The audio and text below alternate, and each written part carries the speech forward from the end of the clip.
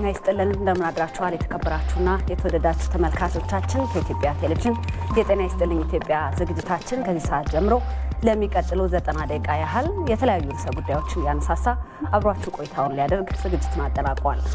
የዛሬ መጋቢት 26 2015 ጤና ይስጥልኝ ኢትዮጵያ ጀምሯል። ለሚሮ ምትኩና አንተነህ ደግፌ እያስተናገድናችሁ እንደዚሁም ደግሞ በዳይሬክቲንጉ ገዛኸኝ መላው ስቱዲዮ ባለሙያ ከኛ ጋር ናቸው። እናንተም ከኛ ጋር ተሆኑ ዘንድ የአክብሮት ግብዣችን ነው። የሳይበር ሚዲያ ሳምንት በታሪኩ እንደዚሁም እንግዳ ጋብዘን ደግሞ ትንታኔ የምንጠይቅባቸው ጉዳዮችን የውጭ ቢዝነስ፣ ስፖርት ሁሉም ሰዓታቸውን ጠብቀው ወደ እናንተ ይደርሳሉ። ዋና ዋና ጉዳዮችን ግን እናስታውቃቸው። የኢትዮጵያ ግብርና ትራንስፎርሜሽን ኢንስቲትዩት ያበለጸገው ነፃ የዲጂታል ቴክኖሎጂ አገልግሎት ለግብርና ስራቸው እንደጠቀማቸው የሞጆ አካባቢ አርሶ አደሮች ገልጸዋል። እዚህ ጉዳይ ላይ ነው እንግዳ ጋብዘን ቆይታ ልናደርግ የወደድ ነው። በ18 ሺህ የትምህርት ማስረጃዎች ላይ ህጋዊነት ማረጋገጫ ተደርገው 900 የሚሆኑት በተለያዩ ምክንያቶች ሀሰተኛ ሆነው መገኘታቸውን የትምህርትና ስልጠና ባለስልጣን አስታውቋል። ከባህር ማዶ ደግሞ ለህፃናት ማቆያ የሚከፍሉት ክፍያ ከፍተኛ በመሆኑ መቸገራቸውን ነው በዩናይትድ ኪንግደም የሚገኙ ወላጆች ያስታወቁት። በዝርዝር እንመለከተዋለን።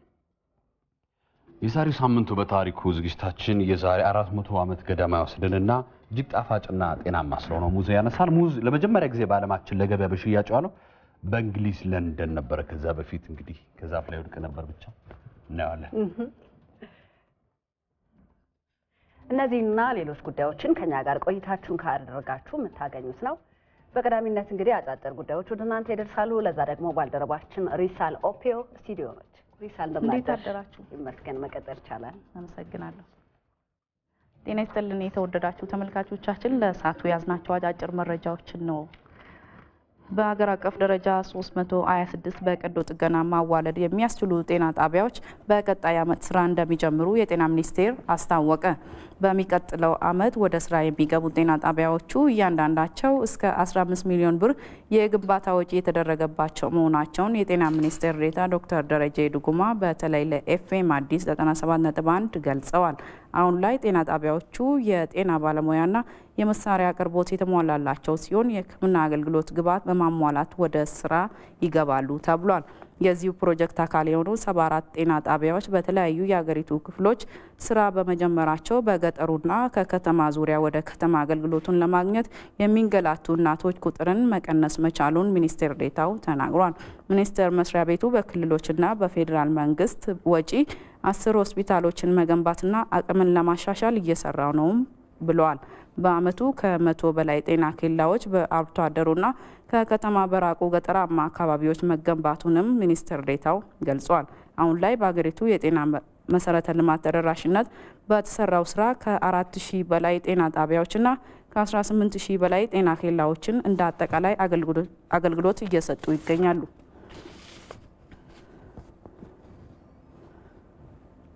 በኢትዮጵያና ሳውዲ አረቢያ መንግስት ስምምነት መሰረት ወደ ሳውዲ አረቢያ ከሚሄዱ ግማሽ ሚሊዮን ስራ ፈላጊ ዜጎች መካከል የመጀመሪያው ዙር ተጓዦች መጋቢት 26 ቀን 2015 ዓ.ም በረራ እንደሚያደርጉ ተገለጸ።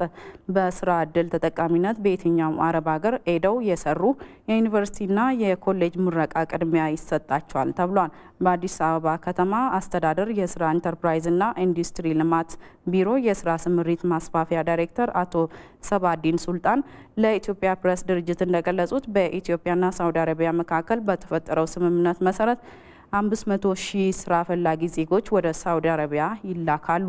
በዚህ ውስጥ ቅድሚያ ለመስጠት የተወሰኑ በየትኛውም አረብ ሀገር ሄደው የሰሩና ቋንቋ ልምድና ባህላቸውን የሚያውቁ ናቸው። ሁለተኛው በዩኒቨርሲቲና ኮሌጅ የተመረቁን የተመረቁት ከአምስት እስከ 21 ቀን በማሰልጠን ለመላክ እየተሰራ መሆኑን አብራርተዋል። ለቱሪዝም ገቢ ምንጭ የሆኑ ብሔራዊ ፓርኮች ይዞታቸውን ዳግም የማካለል ስራ እየተከናወነ መሆኑን በኢትዮጵያ የዱር እንስሳት ባለስልጣን የብሔራዊ ፓርኮች አስተዳደር አስታወቀ። በባለስልጣኑ የብሔራዊ ፓርኮች አስተዳደር መሪ ስራ አስፈጻሚ አዳነ ጸጋዬ ለኢትዮጵያ ፕሬስ ድርጅት እንደገለጹት 13 ብሔራዊ ፓርኮች ህጋዊ ሰውነት እንዲኖራቸውና ማስፋፊያቸውን ለማከናወን ዳግም የማካለል ስራ እየተከናወነ ይገኛል። በኢትዮጵያ ካሉት ብሔራዊ ፓርኮች ሰባቱ አጠቃላይ የአስተዳደራዊ እቅድ እንዲኖራቸውና በድጋሚ እንዲካለሉ ሰፊ ስራ ተከናውኗል። ቀሪዎቹ ደግሞ ዳግም ወደ መካለል እንዲገቡ ዝግጅት እየተደረገ ነው ብለዋል። ዶክተር አዳነ እንደገለጹት በኢትዮጵያ የዱር እንስሳት ጥበቃ ባለስልጣን ስር 13 ብሔራዊ ፓርኮች በቀጥታ ይተዳደራሉ። ዘገባው የኢትዮጵያ ፕሬስ ድርጅት ነው። በጃፓን ያለው የወሊድ መጠን መቀነስ አገሪቱ አሳሳቢ ሁኔታ ውስጥ እንደጣለው ጠቅላይ ሚኒስትር ፌሚዮ ክሺዳ ተናገሩ። በዚህም ሳቢያ አገሪቱ እንቅስቃሴ የምታቆምበት አፍና አፋፍ ላይ እንደሆነች አስጠንቅቀዋል። ከ25 ሚሊዮን የጃፓን ዜጎች መካከል በአመት ከ800 ሺህ በላይ የወሊድ መጠን እንዳለ ተገልጿል። እንደ አውሮፓውያን አቆጣጠር በ1970ዎቹ ቁጥር ከ2 ሚሊዮን በላይ ነበር። የጃፓንን ጎረቤቶች ጨምሮ በዚሁ አገራት የወሊድ መጠን እየቀነሰ መጥቷል። በጃፓን በሕይወት የመቆየት መጠን እየጨመረ ሲመጣ የወሊድ መጠን ቀንሷል። በዚህ ምክንያትም የአረጋውያን ቁጥር እየጨመረ የወጣቶች ቁጥር እየቀነሰ መጥቷል። ጃፓን በዓለም ከ65 ዓመት በላይ በሆኑ ሰዎች ብዛት ሁለተኛ ደረጃ ላይ ናት። ጠቅላይ ሚኒስትሩ እንደ ማህበረሰብ እንቀጥላለን ወይም የሚለው አጠያያቂ ደረጃ ደርሷል። ልጆች ተኮር ፖሊሲዎች ትኩረት ይሻሉ። በዚህም ዘርፍ የሚሰሩ ስራዎች ካለው እጥፍ ወጪ ያስፈልገዋል። ግንቦት ላይ ይህን ጉዳይ በተመለከተ ዘርፉ ይቋቋማል ሲሉ ለአገሪቱ ሕግ አውጪዎች ተናግሯል። ዘገባው የቲአርቲ ወርልድ ነው። ተመልካቾቻችን ለሰዓቱ የያዝናቸውን ዜናዎች ይመስላሉ። ከኛ ጋር ስለነበራችሁ እናመሰግናለን። ወደ እናንተ መለስኩ። ሪስ እናመሰግናለን። ሁለት ሰዓት እንገናኛለን።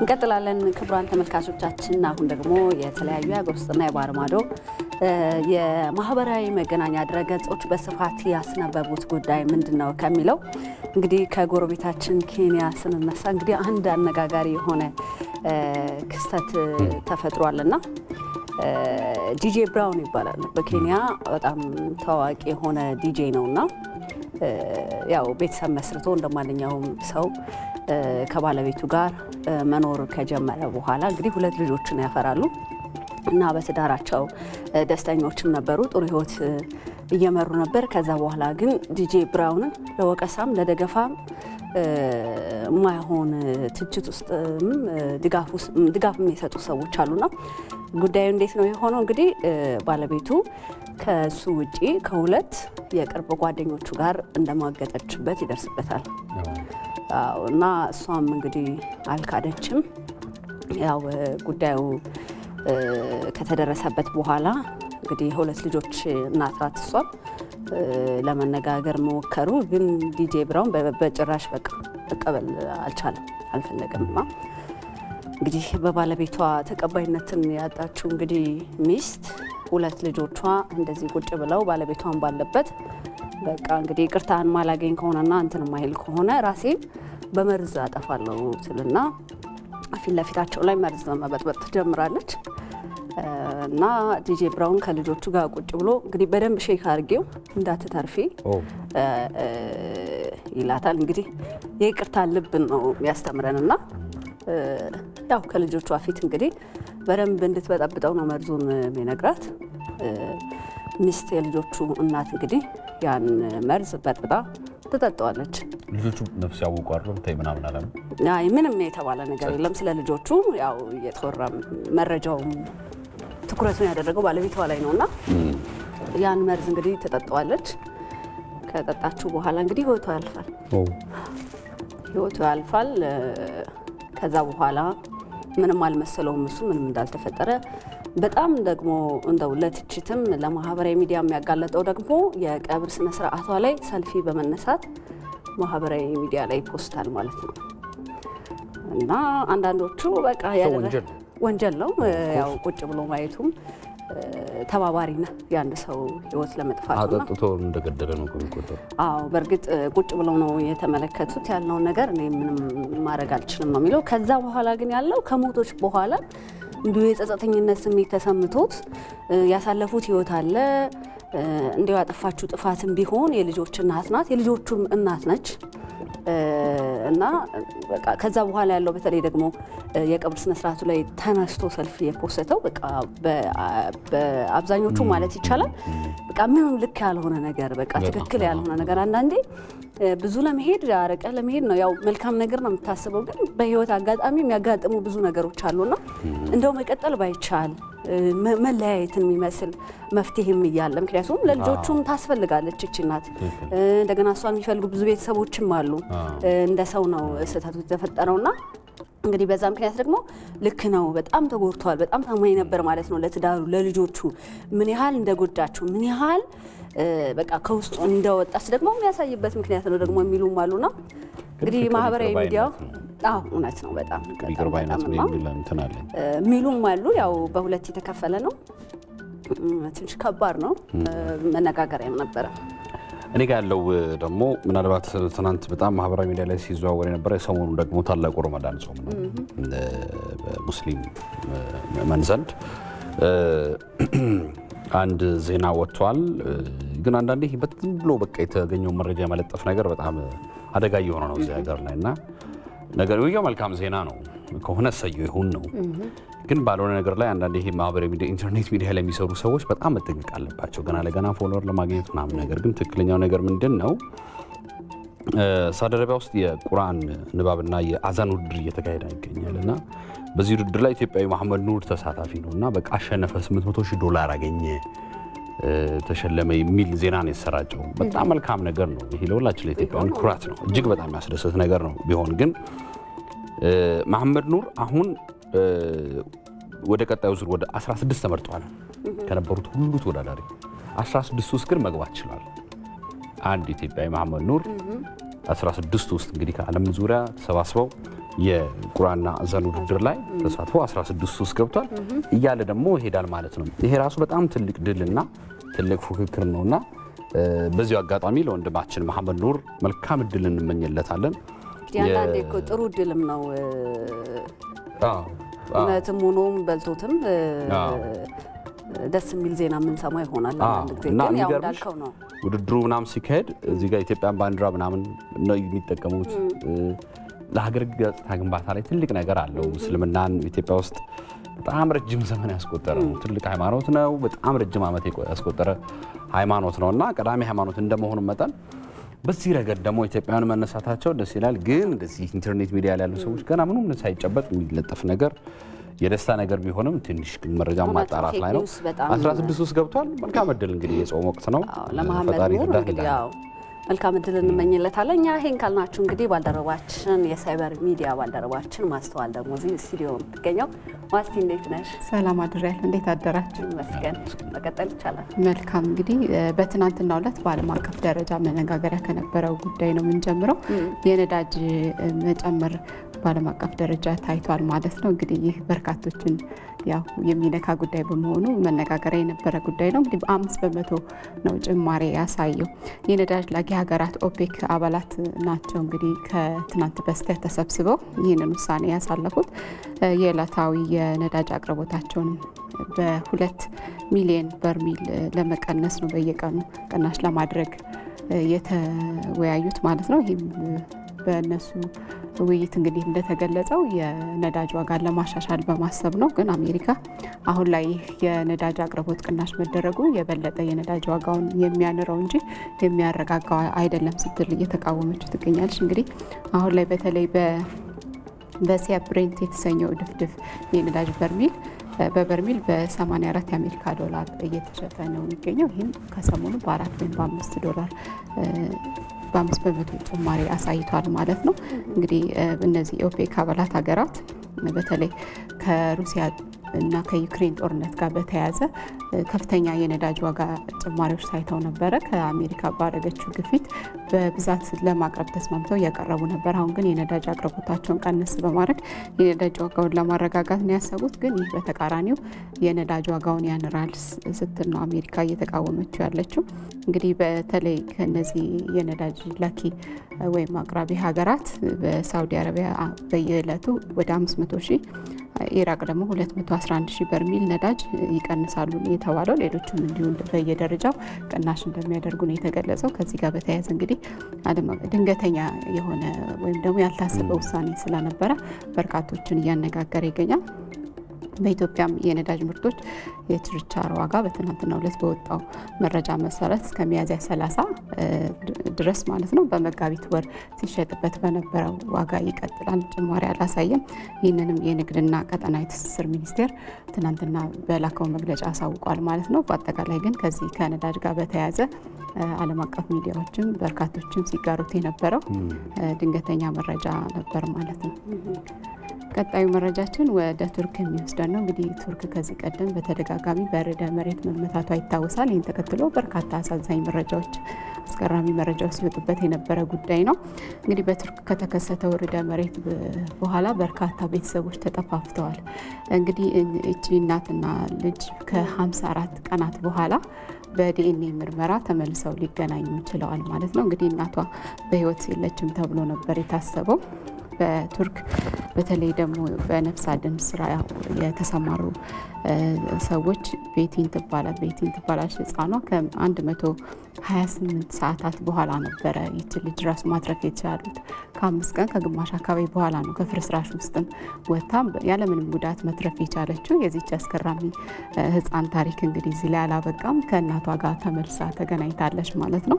ከ54 ቀናት ቆይታ በኋላ እናቷ አሁንም ድረስ ክትትል እየተደረገላት ነው። ከሆስፒታል ከሌላ ግዛት ወደ እናቷ ወዳለችበት ሆስፒታል አገናኝተዋታል።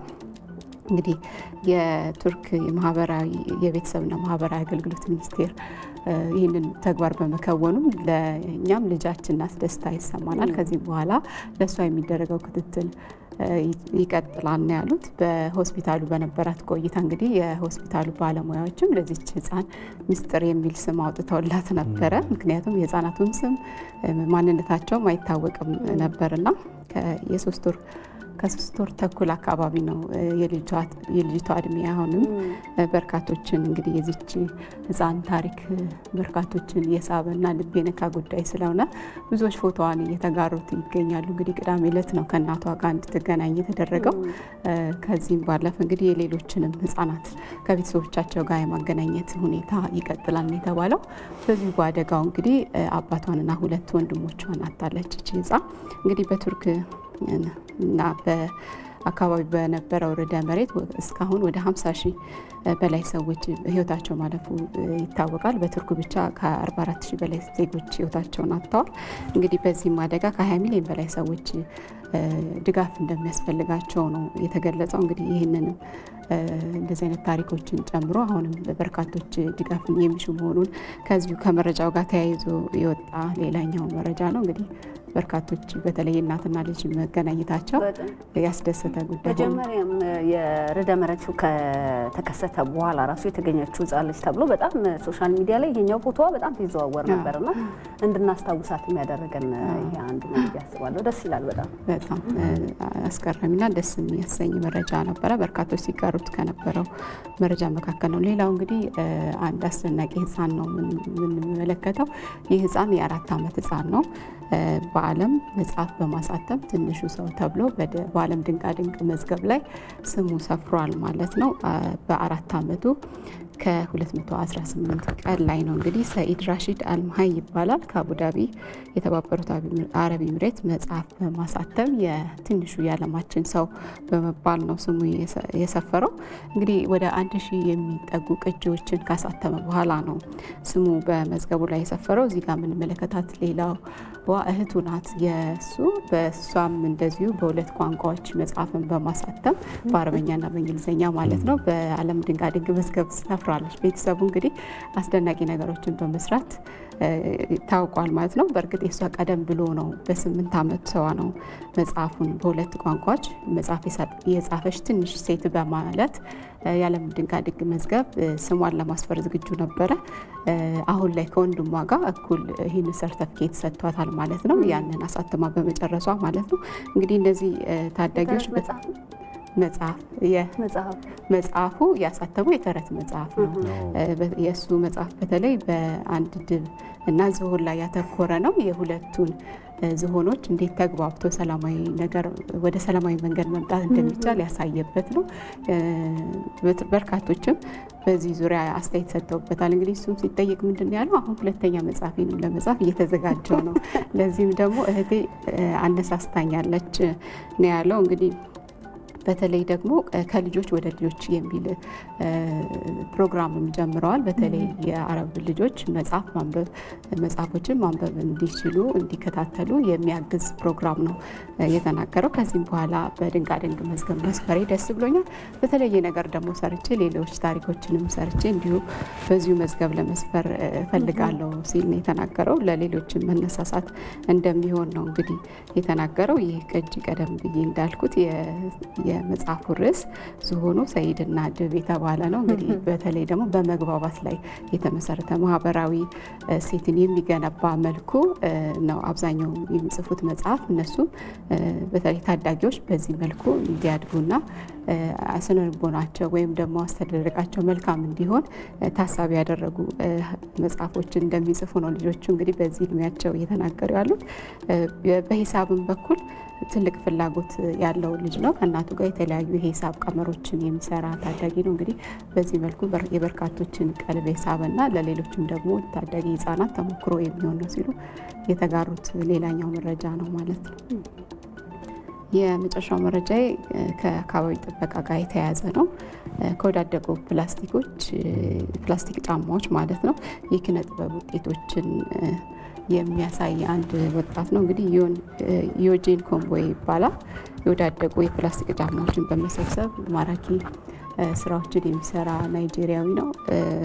በተለይ ደግሞ ከተለያዩ ቦታዎች ነው የሚሰበስባቸው እነዚህን ፕላስቲኮች።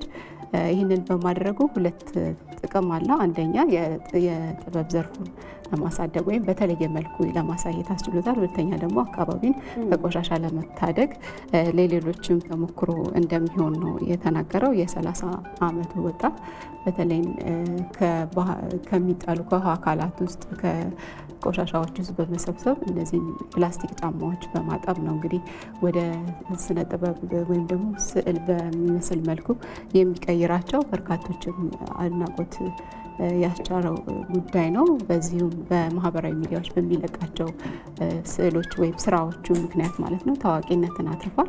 ለሌሎችም ደግሞ ምሳሌ የሚሆን ነው ሲሉ በርካቶች እንግዲህ ሀሳባቸውን እየሰነዘሩ ነው። በዓለማችን እንግዲህ በርካታ በተለይ ፕላስቲኮች ብስባሽ ስላልሆኑ አካባቢን የሚያቆሽሉ በመሆኑ በርካታ ቆሻሻዎች ይጣላሉ። እነዚህን ደግሞ ወደ መልሶ ጥቅም ላይ ማዋሉ የበርካቶችን ሀሳብ የሚሰጥ ነው። ወይም ደግሞ አንድ ነገር ብቻ ሳይሆን በዚህ መልኩ ይህንን መጠቀም ያስችላል የሚል ሀሳብ ሰጥበታለሁ ብሎ ተናግሯል።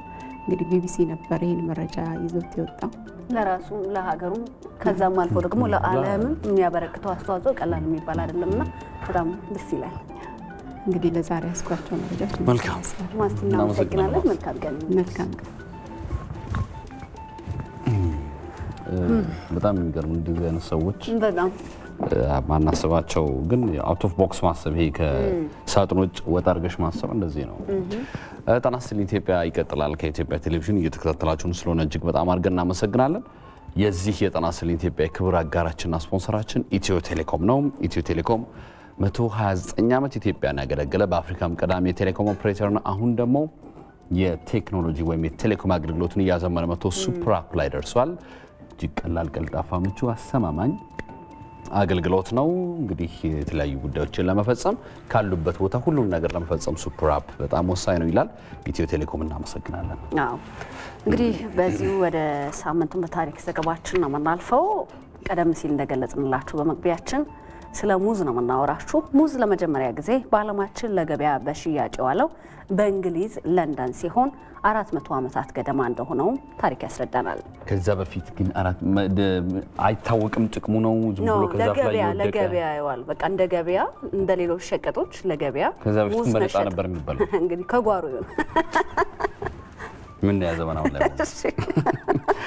ሳምንቱ በታሪኩ የነቃቸው ሰማው አዘጋጅቶታል። ምስክር ስናፍቅ ያቀርበዋል። ሙዝ በዓለማችን በምግብነት የሚዘወተር የፍራፍሬ አይነት ነው። በተለይም የካርቦሃይድሬት ይዘቱ ከፍተኛ በመሆኑ በርካቶች ተመራጭ ያደርጉታል። ሙዝ የተለያየ ዝርያ ያለው ሲሆን ቢጫ፣ አረንጓዴና ሌሎች ቀለማትም እንዳሉት ይታወቃል። ነገር ግን በብዛት ሰዎች በጥቅም ላይ የሚያውሉት የበሰለውን ወይም ቢጫውን ነው።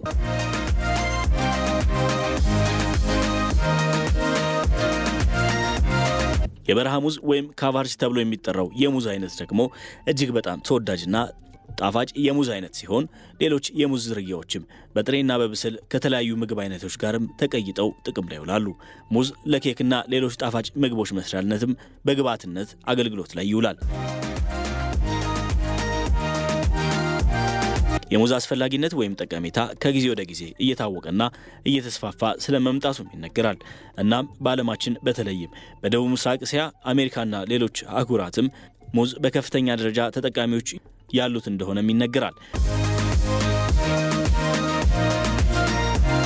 በእንግሊዝ ለንደንም ሙዝ እንደ አውሮፓውያኑ አቆጣጠር በ1633 ለመጀመሪያ ጊዜ በገበያ ላይ ለሽያጭ የዋለውም በዚሁ ሳምንት መሆኑን ታሪክ ያስረዳናል። ተመልሰናል። ክቡራን ተመልካቾቻችን፣ አሁን ደግሞ የተለያዩ የሀገር ውስጥና የውጭ ስፖርታዊ መረጃዎችን ልንጋራ ነው። ለዛ ደግሞ ባልደረባችን ነጻነት እዚህ ስቱዲዮ ነው። እዚህ እንዴት ነህ? ይመስገነው። ሰላም ናችሁ? ይመስገን። ምን ምን ጉዳዮች አሉ? ቀዳሚ የምናደርገው ትናንትና የነበረው ጋዜጣዊ መግለጫ ነው። አሰልጣኝ ውበቱ አባተ ባለፉትን ሁለት ጨዋታዎችን አስመልክተው ጋዜጣዊ መግለጫ ሰጥተዋል። በኢትዮጵያ እግር ኳስ ፌዴሬሽን ጽሕፈት ቤት በመገኘትና እሱን ቀዳሚ እናደርጋለን። የቤትኪንግ የኢትዮጵያ ፕሪሚየር ሊግ ትናንትና ቀጥሎ ሲከናወን ነበረ። ዛሬም ደግሞ አንድ ጨዋታ ይደረጋል። ከዛ ውጭ የእንግሊዝ ፕሪሚየር ሊግ፣ የላሊጋና ሌሎች ግብሮች አሉ። መልካም ስንመለስ እንመለከታቸዋለን። ታታሪዋ ሴት የህብር የሴቶች የቁጠባ ሂሳብ ከከፈተች በኋላ ከአነስተኛ ኑ ቡና ጠጡ ሥራ ይህን የመሰለ የካፌ ባለቤት እንድትሆን አስችሏታል። በህብር የወጣቶች ሂሳብ በመቆጠቡ ለጓደኛው ሚዜ ለመሆን የወደደውን ሳይጨነቅ መግዛት ችሏል።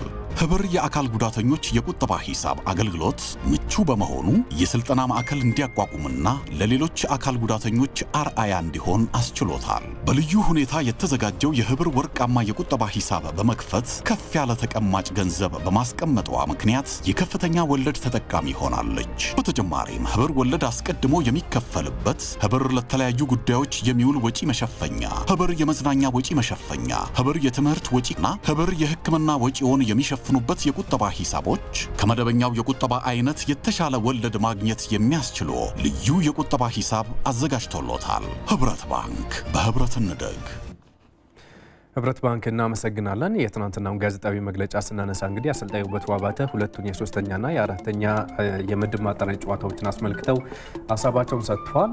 እንግዲህ በእነኚህ ሁለቱ የማጣሪያ ጨዋታዎች ስድስት ነጥቦችን ለማሳካት ከስድስት ነጥብ አራት ነጥቦችን ለማሳካት ታስቦ ያለምንም ነጥብ ነበር ብሔራዊ ቡድኑ በጊኒ ሽንፈት አስተናግዶ የተመለሰው እና አጠቃላይ የነበረው ጨዋታ ደካማ እንቅስቃሴ የታየበት በተለይም የመጀመሪያው ጨዋታ ደግሞ እጅግ ባልተጠበቀ መልኩ የተንቀሳቀስንበት ነው ሲሉ ነው አሰልጣኝ ውበቱ አባተ ማንሳት የቻሉት። ከዛ ውጭ ግን በውጤት ደረጃ የተሻለ ውጤት መመዝገብ ያልቻለው የተጫዋቾች ወጥ አቋም አለማሳየት እንደሆነ አሰልጣኙ አስተያየታቸውን ሰጥተዋል። እስካሁን ሁለት ዓመታትን አስቆጥሯል በኢትዮጵያ ብሔራዊ ቡድን አሰልጣኝነት ሚናቸው። በእነኚህ ሁለት ዓመታት እንኳን በተከታታይ ወጥ የሆነ አቋም የሚያሳይ ተጫዋች በብዛት ለማግኘት እንደተቸገሩ ሀሳባቸውን ሰጥተዋል። ያ ደግሞ ለብሔራዊ ቡድኑ ውጤት ማጣት እንደ አንድ ምክንያት እንደሚነሳ አሰልጣኙ ሀሳባቸውን ሰጥተዋል። የሀገሪቱ ሊግም ይቋረጣል። እንደሚታወቀው ቤትኪንግ የኢትዮጵያ ፕሪሚየር ሊግ በድሬዳዋ ላይ በተደጋጋሚ ሲቋረጥ እንደነበር እናስታውሳለን። ይህ ይቋረጣል አንዱ ምክንያት ነው። ተጫዋቾችም ደግሞ በሊግ ደረጃ በዛ መልኩ ጨዋታዎችን በተደጋጋሚ ካላከናወኑ ወጥ አቋም ለማሳየት ይቸገራሉ የሚል አስተያየታቸውን ሰጥተዋል እና ሌሎች ሀገራት ላይ በታላላቅ በአውሮፓ ክለቦች ላይ የሚጫወቱ ተጫዋቾች አሉ። ሊጋቸው አይቋረጥም። ከዛ ባሻገር በሀገር ውስጥ ሊግ እንኳን በርካታ ውድድሮች ይኖራሉ። ስለዚህ በወር ውስጥ በርካታ ጨዋታዎችን ሊያደርጉ ይችላሉ። በአመት ደግሞ ሲለካ በርካታ መርሃ ግብሮችን ያደርጋሉ። ያ አቅማቸውን በደንብ ከፍ ሊያደርግ ይችላል እና ምናልባት ከዛ ጋር የሚያያዝ ሊሆን ይችላል። ከኃላፊነታቸው ጋር ተያይዘው ጥያቄ ቀርቦላቸው ነበረ። ከኃላፊነቱ ይነሳሉ ወይ የሚል ነገር ከጋዜጠኞች የቀረበ ጥያቄ ነበረ። በየትኛውም ሰዓት ሰው ከኃላፊነቱ ዝም ብሎ አይነሳም የሚል አስተያየታቸውን የሰጡት። ምክንያቱም ሁለት ዓመት ቀሪ ኮንትራት ይቀራቸዋል። ከቀጠራቸው ከፌዴሬሽኑ ጋር ደግሞ እስካሁን የተከናወኑ በውላቸው መሰረት የተያዙ ጉዳዮች ይኖራሉ እና እነኚህ ጉዳዮች ላይ ከተመካከሩ በኋላ የትኛው ተሳክቷል፣ የትኛው አልተሳካም የሚሉ ጉዳዮች ከታዩ በኋላ ከፌዴሬሽኑ ጋር እንግዲህ በመነጋገር የሚወሰን እንደሚሆን ነው አሰልጣኝ ውበቱ አባተ መስጠት የቻሉት። ከዛ ባሻገር አንዳንድ የሚዲያ ሰዎች ደግሞ ወደ ሚዲያ እየቀረቡ እንግዲህ ከሳቸው አልፎ ቤተሰባቸውን የሚያጠቃ ነገሮችን እያወሩ ሚዲያውን እየተጠቀሙ እንግዲህ የማይገባ ነገር እያደረጉ እንደሆነም ሀሳባቸውን ሰጥተዋል እና ይህንን ታግሻለሁ፣ ከዚህ በኋላ ግን ከዚህ በላይ መታገስ አልችልም የሚል አስተያየታቸውን ነው የሰጡት። እንግዲህ የቤተሰባቸውን ክብር የሚነኩ ጉዳዮችን እንደሚያነሱም ጭምር ነው እሳቸው ያነሱት አንዳንድ የሚዲያ ባለሙያዎች እና ይህ ደግሞ ፈጽሞ አግባብ እንዳልሆነ ሀሳባቸውን ሰጥተዋል። የፌዴሬሽኑ ጽሕፈት ቤት ኃላፊ አቶ ባህሩ ጥለሙንም ነበሩ ትናንትና እንግዲህ ከአሰልጣኙ ቆይታ ጋር ተያይዞ ሀሳብ እንዲሰጡ ተጠይቀው ነበረ። እሳቸው እንዳሉትም አሰልጣኙ እንዳሉትም ፌዴሬሽኑ የሰጣቸው ውል ሲፈራረሙ የሰጣቸው ኃላፊነት አለ፣ መሟላት ያለባቸው መሆን የሚገባቸው ነገሮች አሉ።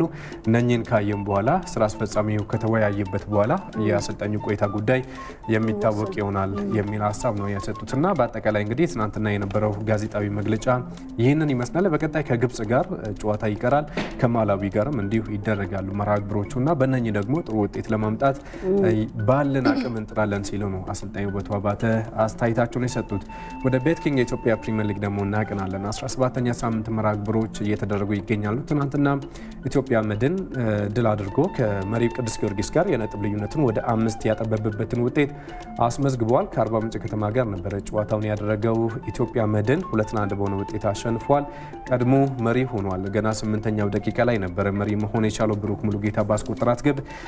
ከዛ በኋላ ኤሪክ ካፓይቶ ይህ ኬንያዊ አጥቂ ለአርባ ምንጭ ግብ አስቆጠሩ። እንግዲህ ጨዋታው አቻ ሆኖ ነበር አምሳኛው ደቂቃ ላይ። ይሁንና ከሰባት ደቂቃዎች ቆይታ በኋላ ደግሞ ሲሞን ፒተር ለኢትዮጵያ መድን የአሸናፊነት ግብን አስቆጥሮ መድን ሁለት ለአንድ መርሃ ግብሩን አሸንፏል። ያንን ተከትሎም በዚህ በኢትዮጵያ ፕሪሚየር ሊግ ሁለተኛ ደረጃ ላይ ነው የሚገኘው 33 ነጥቦችን ይዞ ቅዱስ ጊዮርጊስ 38 ይዘዋል። ስለዚህ በመካከላቸው ያለው የነጥብ ልዩነት አምስት ብቻ ነው። ሌላኛው ጨዋታ በድሬዳዋና በለገጣፎ መካከል ተከናውኑ ለገጣፎ ለገዳዲ በውድድር ዓመቱ ሁለተኛ ድሉን ይመስለኛል ሁለት ለአንድ በሆነ ውጤት አሸንፏል። ሱሌማን ትራውሬ ሁለቱን የማሸነፊያ ግቦችን ወራጅ ቀጠና ውስጥ ለሚገኙ ለገጣፎ ያስቆጠረ ተጫዋች ነው። ቢኒያም ጌታቸው ደግሞ ለድሬዳዋ 94ኛው ደቂቃ ላይ ኳስን ከመረብ አገናኝቷል።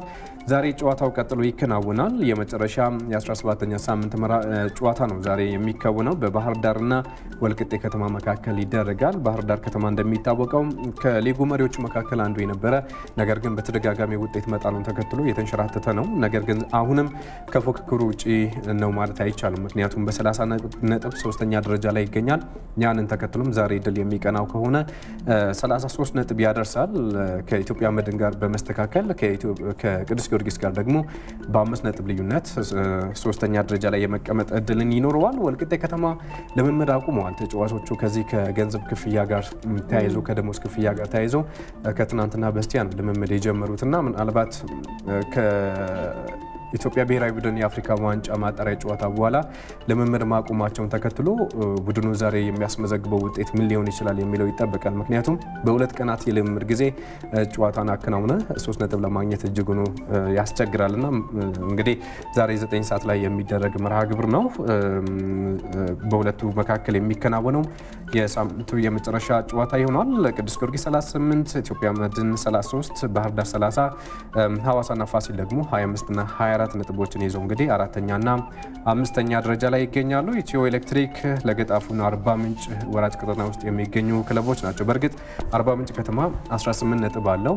ትናንትና ሽንፈት ባያስተናግድ ኖሮ ወደ ላይ ከፍ የሚልበት አጋጣሚ ይፈጠራል እና 14ተኛ ደረጃ ላይ የሚገኘው ቡድን አንድ ጨዋታ ካሸነፈ ብዙ ደረጃዎችን አሻሽሎ ወደ ላይ ከፍ የሚልበት አጋጣሚ ይፈጠራል። ለማንኛውም ለጊዜ ወደ ታችኛው ግርጌ ላይ ወርዷል አርባ ምንጭ ከተማ።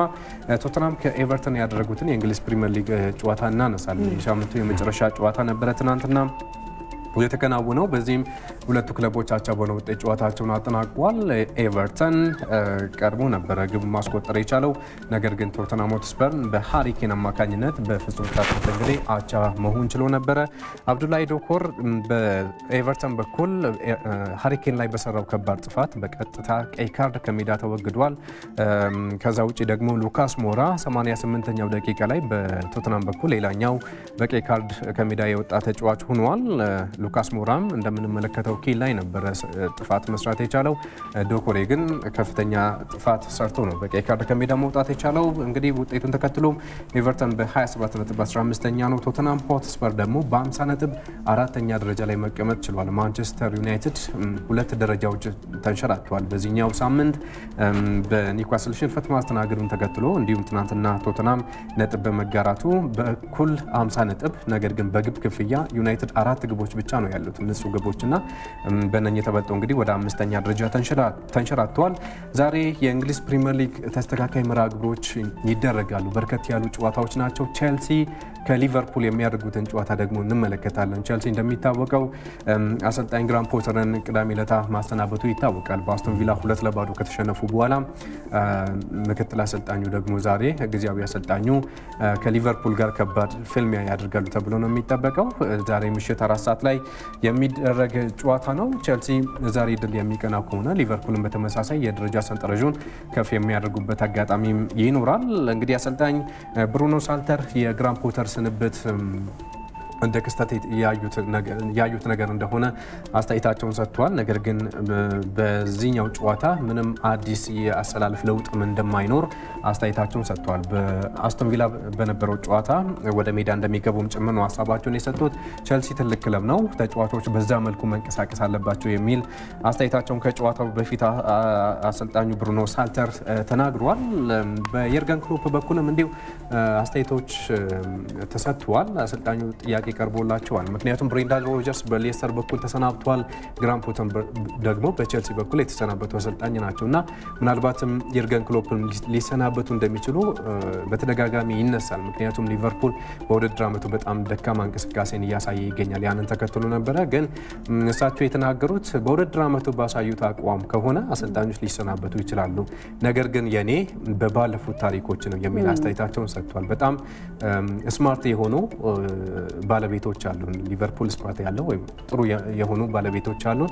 ነገሮችን ይረዳሉ። ለዛ ነው እንጂ እኔም ከወንበሬ ልነሳ አይችል ነበር የሚል አስተያየታቸውን ሰጥቷል። ነገር ግን የአውሮፓ ሻምፒዮንስ ሊግ፣ የፕሪሚየር ሊግ ዋንጫዎችንም ማሳካት ችሏል ከሊቨርፑል ጋር እና ሊቨርፑል ከረዥም ጊዜ በኋላ ነው እነኝን ታሪኮችን መጋራት የቻለው። ያንን ተከትሎም አሁንም በኃላፊነታቸው ላይ ስለመቆየታቸው ነው መግለጽ የቻሉት። ለማንኛውም የአሰልጣኝ ስንብት አሁንም አስቸጋሪ ነው የሚል አስተያየታቸውን ሰጥተዋል። ቸልሲ ቲያጎ ሲልቫ፣ ሴዛር አስፒሊኩዌታ፣ ብሮሃና ራሂም ስተርሊንግ፣ ዌስሌ ፎፋና በጉዳት ምክንያት በጨዋታው ላይ አይገኙም።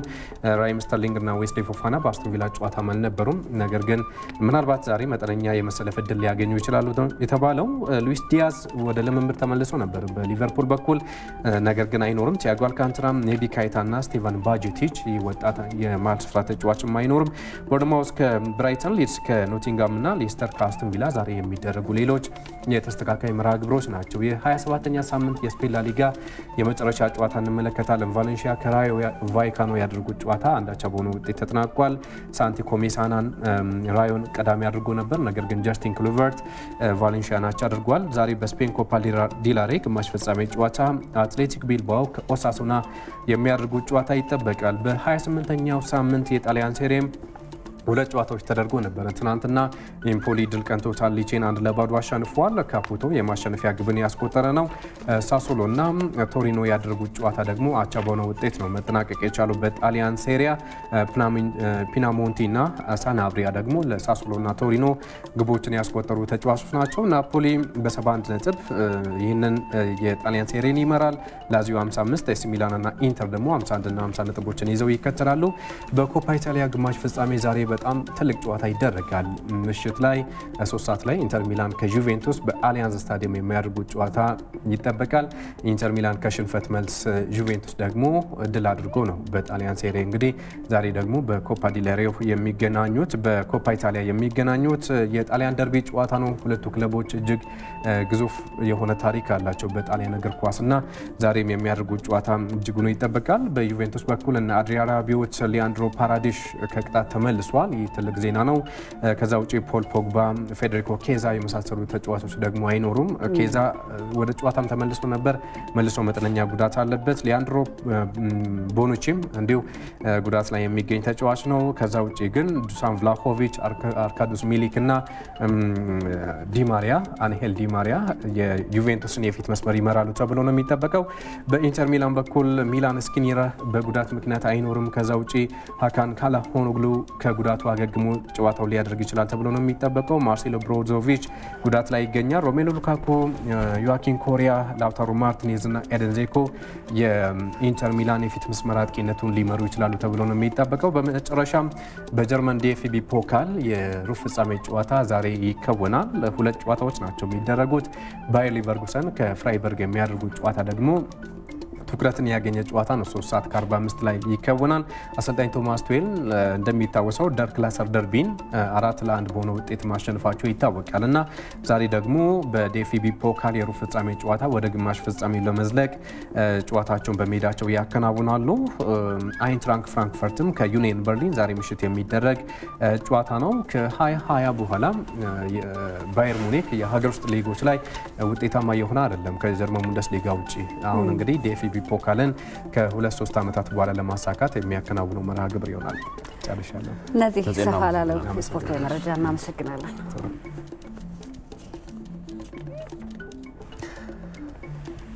በዝርዝር ወደምንመለከተው አንድ ጉዳይ ነው የምናመራው። የኢትዮጵያ ግብርና ትራንስፎርሜሽን ኢንስቲትዩት ያበለጸገው ነፃ የዲጂታል ቴክኖሎጂ አገልግሎት ለግብርና ስራቸው እየጠቀማቸው እንደሆነ የሞጆ አካባቢ አርሶ አደሮች ገልጸዋል። ኢንስቲትዩቱም በሀገር አቀፍ ደረጃ በዚህ አገልግሎት ከሰባት ሚሊዮን በላይ አርሶ አደሮች እየተጠቀሙበት መሆኑን ነው ያስታወቀው። ፍሬቱ ረታ ዝርዝሩን አዘጋጅታዋለች። ከዛ ስንመለስ ከእንግዳ ጋር ሰፋ ያለ ቆይታ ይኖረናል። ከኛ ጋር ሁኑ። የኢትዮጵያ ግብርና ትራንስፎርሜሽን ኢንስቲትዩት የግብርናውን ዘርፍ ለማዘመን ከተቋቋሙ ተቋማት መካከል አንዱ ነው። ተቋሙ 8028 እና 6077 በስልክ የድምፅ ጥሪና በአጭር የጽሁፍ መልእክት የአርሶ አደሮችን የግብርና መረጃ መስጫ አገልግሎት እንዲሁም ደግሞ የሀገር አቀፍ የገበያ መረጃ ስርዓት ዲጂታል አገልግሎት በስድስት ቋንቋዎች እየሰጠ ይገኛል። ይህም አገልግሎት ለግብርና ስራቸው እንደጠቀማቸው በሞጆ አካባቢ የሚገኙ አርሶ አደሮች ይናገራሉ። ይህ የግብርና መረጃ አገልግሎት ነው። ሀያ ስምንት ስጠቀም በተለይ በእርሻ ጊዜ ስለ ዘር አሰራር፣ ስለ አተራረስ፣ ስለ መስመር በሙሉ እንጠይቃለን፣ እንረዳለን። ባለን እውቀት ላይ ይህን ጨምረን እንጠቀማለን። የሆነ ነገር ሲረሳ ደውዬ አስታውሳለሁ፣ ይነግሩኛል፣ ተግባራዊ ያደርጋለሁ። በጣም ነው ጠቀመን። በአንድ ሄክታር ላይ ምን ያህል ዘር እንደሚያስፈልግ በመስመር መዝራት ደግሞ ጠቃሚነቱ ምን እንደሆነ ከዛ ጋር አያይዘን በፈለግን ሰዓት እንደውላለን። ግንኙነታችን በጣም የጠበቀ ነው። አንድ ሰዓት ባልሞላ ጊዜ ውስጥ ምላሽ እናገኛለን። አገልግሎቱ ለአጠቃቀም ቀላልና ወጪ ቆጣቢ መሆኑን አርሶ አደሮች ይገልጻሉ። ቤቴ ሆኜ ውጭም ሆኜ የትም ሆኜ ሲደውል እናገኛለን። አንዳንዴ አልፎ እነሱም ይደውላሉ። የምንፈልገው መረጃ ወቅቱ ስጠብቅ ወቅቱን ጠብቀን ማንኛውም ነገር እንጠይቃለን። ወጪንም በመቀነስ ድካምን በአጭር አሰራር በመጠቀም ከፍተኛ ለውጥ አስገኝቶልናል። የኢትዮጵያ ግብርና ትራንስፎርሜሽን ኢንስቲትዩት እየሰጠ በሚገኘው አገልግሎት በርካታ አርሶ አደሮች ተጠቃሚ መሆን መቻላቸውን የኢንስቲትዩቱ የዲጂታል ግብርና ትራንስፎርሜሽን አስተባባሪ ተመስገን ገበየው ተናግረዋል። 88 የግብርና የአርሶ አደር የግብርና አገልግሎት ወይም የመረጃ አገልግሎት የሚባለው በሀገራችን ውስጥ ያለውን አርሶ አደር በልማት ሰራተኞች አማካኝነት የሚያገኙትን የምክር አገልግሎት በቴክኖሎጂ ቀጥታ እንዲያገኙ ተደርጎ የተሰራ ነው እና ይህም የተጀመረው በኢትዮጵያ አቆጣጠር ከ2007 ጀምሮ ሲሆን እስካሁን ድረስ 6.2 ሚሊዮን የሚሆኑ ሰዎች ተመዝግበው ከ63 ሚሊዮን ጊዜ በላይ ደውለው መረጃ የመረጃ አገልግሎት አግኝተዋል። ሁለተኛው አገልግሎት ሀገር አቀፍ የገበያ መረጃ ስርዓት አቋቁመናል እና ምርቶችን ዋጋ ሰብስበን process አድርገን አረጋግጠን ትክክለኛነታቸውን አረጋግጠን ለአርሶ አደሩ ትክክለኛ ዋጋ የምናሰራጭበት system ባለፉት አራት ዓመታት ውስጥ 1.2 ሚሊዮን በላይ ሰዎች ተመዝግበው ከ6.3 ሚሊዮን በላይ ከ6.5 ሚሊዮን ጊዜ በላይ ደውለው አዳምጠዋል። የግብርናውን ዘርፍ በማዘመን አርሶ አደሩ ይበልጥ ተጠቃሚ የሚሆንበትን አሰራርም በቀጣይ ተግባራዊ ለማድረግ ተቋሙ እየሰራ ነው ሲሉ አስተባባሪው ያስረዳሉ። አሁን already በቅርቡ በሚቀጥሉት ወራት ውስጥ launch የምናደርገው የ digital market linkage platform ይባላል። የገበያ መረጃ ከመስጠት በተጨማሪ ሻጭና ገዢን በ system አማካኝነት ማገናኘት የሚችል platform እንዲሁ already develop አድርገን ወደ ተግባር ልንገባ already ከባለድርሻ አካላት ጋር already ተግባብተን ወደ ስራ እየገባን ነው የምንገኘው። ኢንስቲትዩቱ ካለፈው ዓመት ጀምሮ ግብርናውን digitize ለማድረግ ፍኖተ ካርታ አዘጋጅቶ በመተግበር ላይ ይገኛል። ተመልሰናል። ክቡራን ተመልካቾቻችን ቀደም ሲል በተከታተልነው ዘገባ ላይ ተጨማሪ መረጃ እንዲሰጡን የኢትዮጵያ ግብርና ትራንስፎርሜሽን ኢንስቲትዩት ምክትል ዋና ዳይሬክተር የሆኑትን ዶክተር ይፍሩ ታፈሰን እዚህ ስቱዲዮ ጋብዘናል። ዶክተር እንኳን ደህና መጡ። ለጊዜው እጅግ በጣም እናመሰግናለን። እንኳን ደህና ቆያችሁኝ። መልካም ዶክተር፣ በጣም እናመሰግናለን። እንግዲህ የዚህ ቴክኖሎጂውን በጣም በአጭር ጊዜ ውስጥ እንዴት ከአርሶ አደሩ ጋር ማስታወቅ ተቻለ? ምን ያህል አርሶ አደሩ ውስጥ ግንዛቤ ውስጥ ሰርጸዋል? ቅድም ያየናቸው አርሶ አደሮች አሉ። በተለይ ዲጂታል ኢኮኖሚን ከመገንባት አንጻርስ ያለው ፋይዳ እንዴት ይገለጻል የሚለውን አመሰግናለሁ። በተለይ ይሄ ቅድም ሲገለጽ የነበረው 828 ወይም 6077 በዋነኛነት በተለይ ደግሞ ይሄ የአርሶ አደሮች መረጃ መስጫና መቀበያ ምን 828 ብለን የምንለው አንድ 78 ዓመት ገደማ ይሆነዋል። እስካሁን የደረሰበት ጊዜ ድረስ በአሁኑ ሰዓት ወደ 7 ሚሊዮን 6.2 ገደማ ሚሊዮን አርሶ አደር ተጠቃሚ ነው በ platform ኡ። ነገር ግን እዚህ ቁጥር ላይ ለመድረስ በርካታ ስራዎች መሰራት ነበረባቸው። በሚዲያ ከማስተዋወቅ በተለይ በሬዲዮ፣ በፖስተር፣ በ flyer እንዲሁም ደግሞ በዋነኛነት አርሶ አደሩ ጋር በመቅረብ በልማት ሰራተኞች በጣም በአርሶ አደር ተወካዮች፣ በግብርና ባለሙያዎች ሰፋፊ ወርክሾፖች፣ ስልጠናዎች አዌርነስ ለመፍጠር በጣም የሚያስችል መርሃ ግብር ነው ስንሰራ የነበረው። በክልል ደረጃ፣ በቀበሌ ደረጃ፣ በወረዳ ደረጃ በደንብ ያ በስፋት ሲሰራ ስልጠና በብዛት ተሰራ። ከዛ በኋላ በሂደት ጥቅሙንም እያዩ እየሞከሩ ከዚህ እኛ የምንልከው መልእክት ይቀበላሉ፣ እነሱም ይሰጣሉ። በሂደት አሁን 6.2 ሚሊዮን አርሶ አደር ላይ ደርሰናል እና 78 ዓመት የፈጀ ስራ ነው አሁን እዚህ ደረጃ ላይ የደረሰው።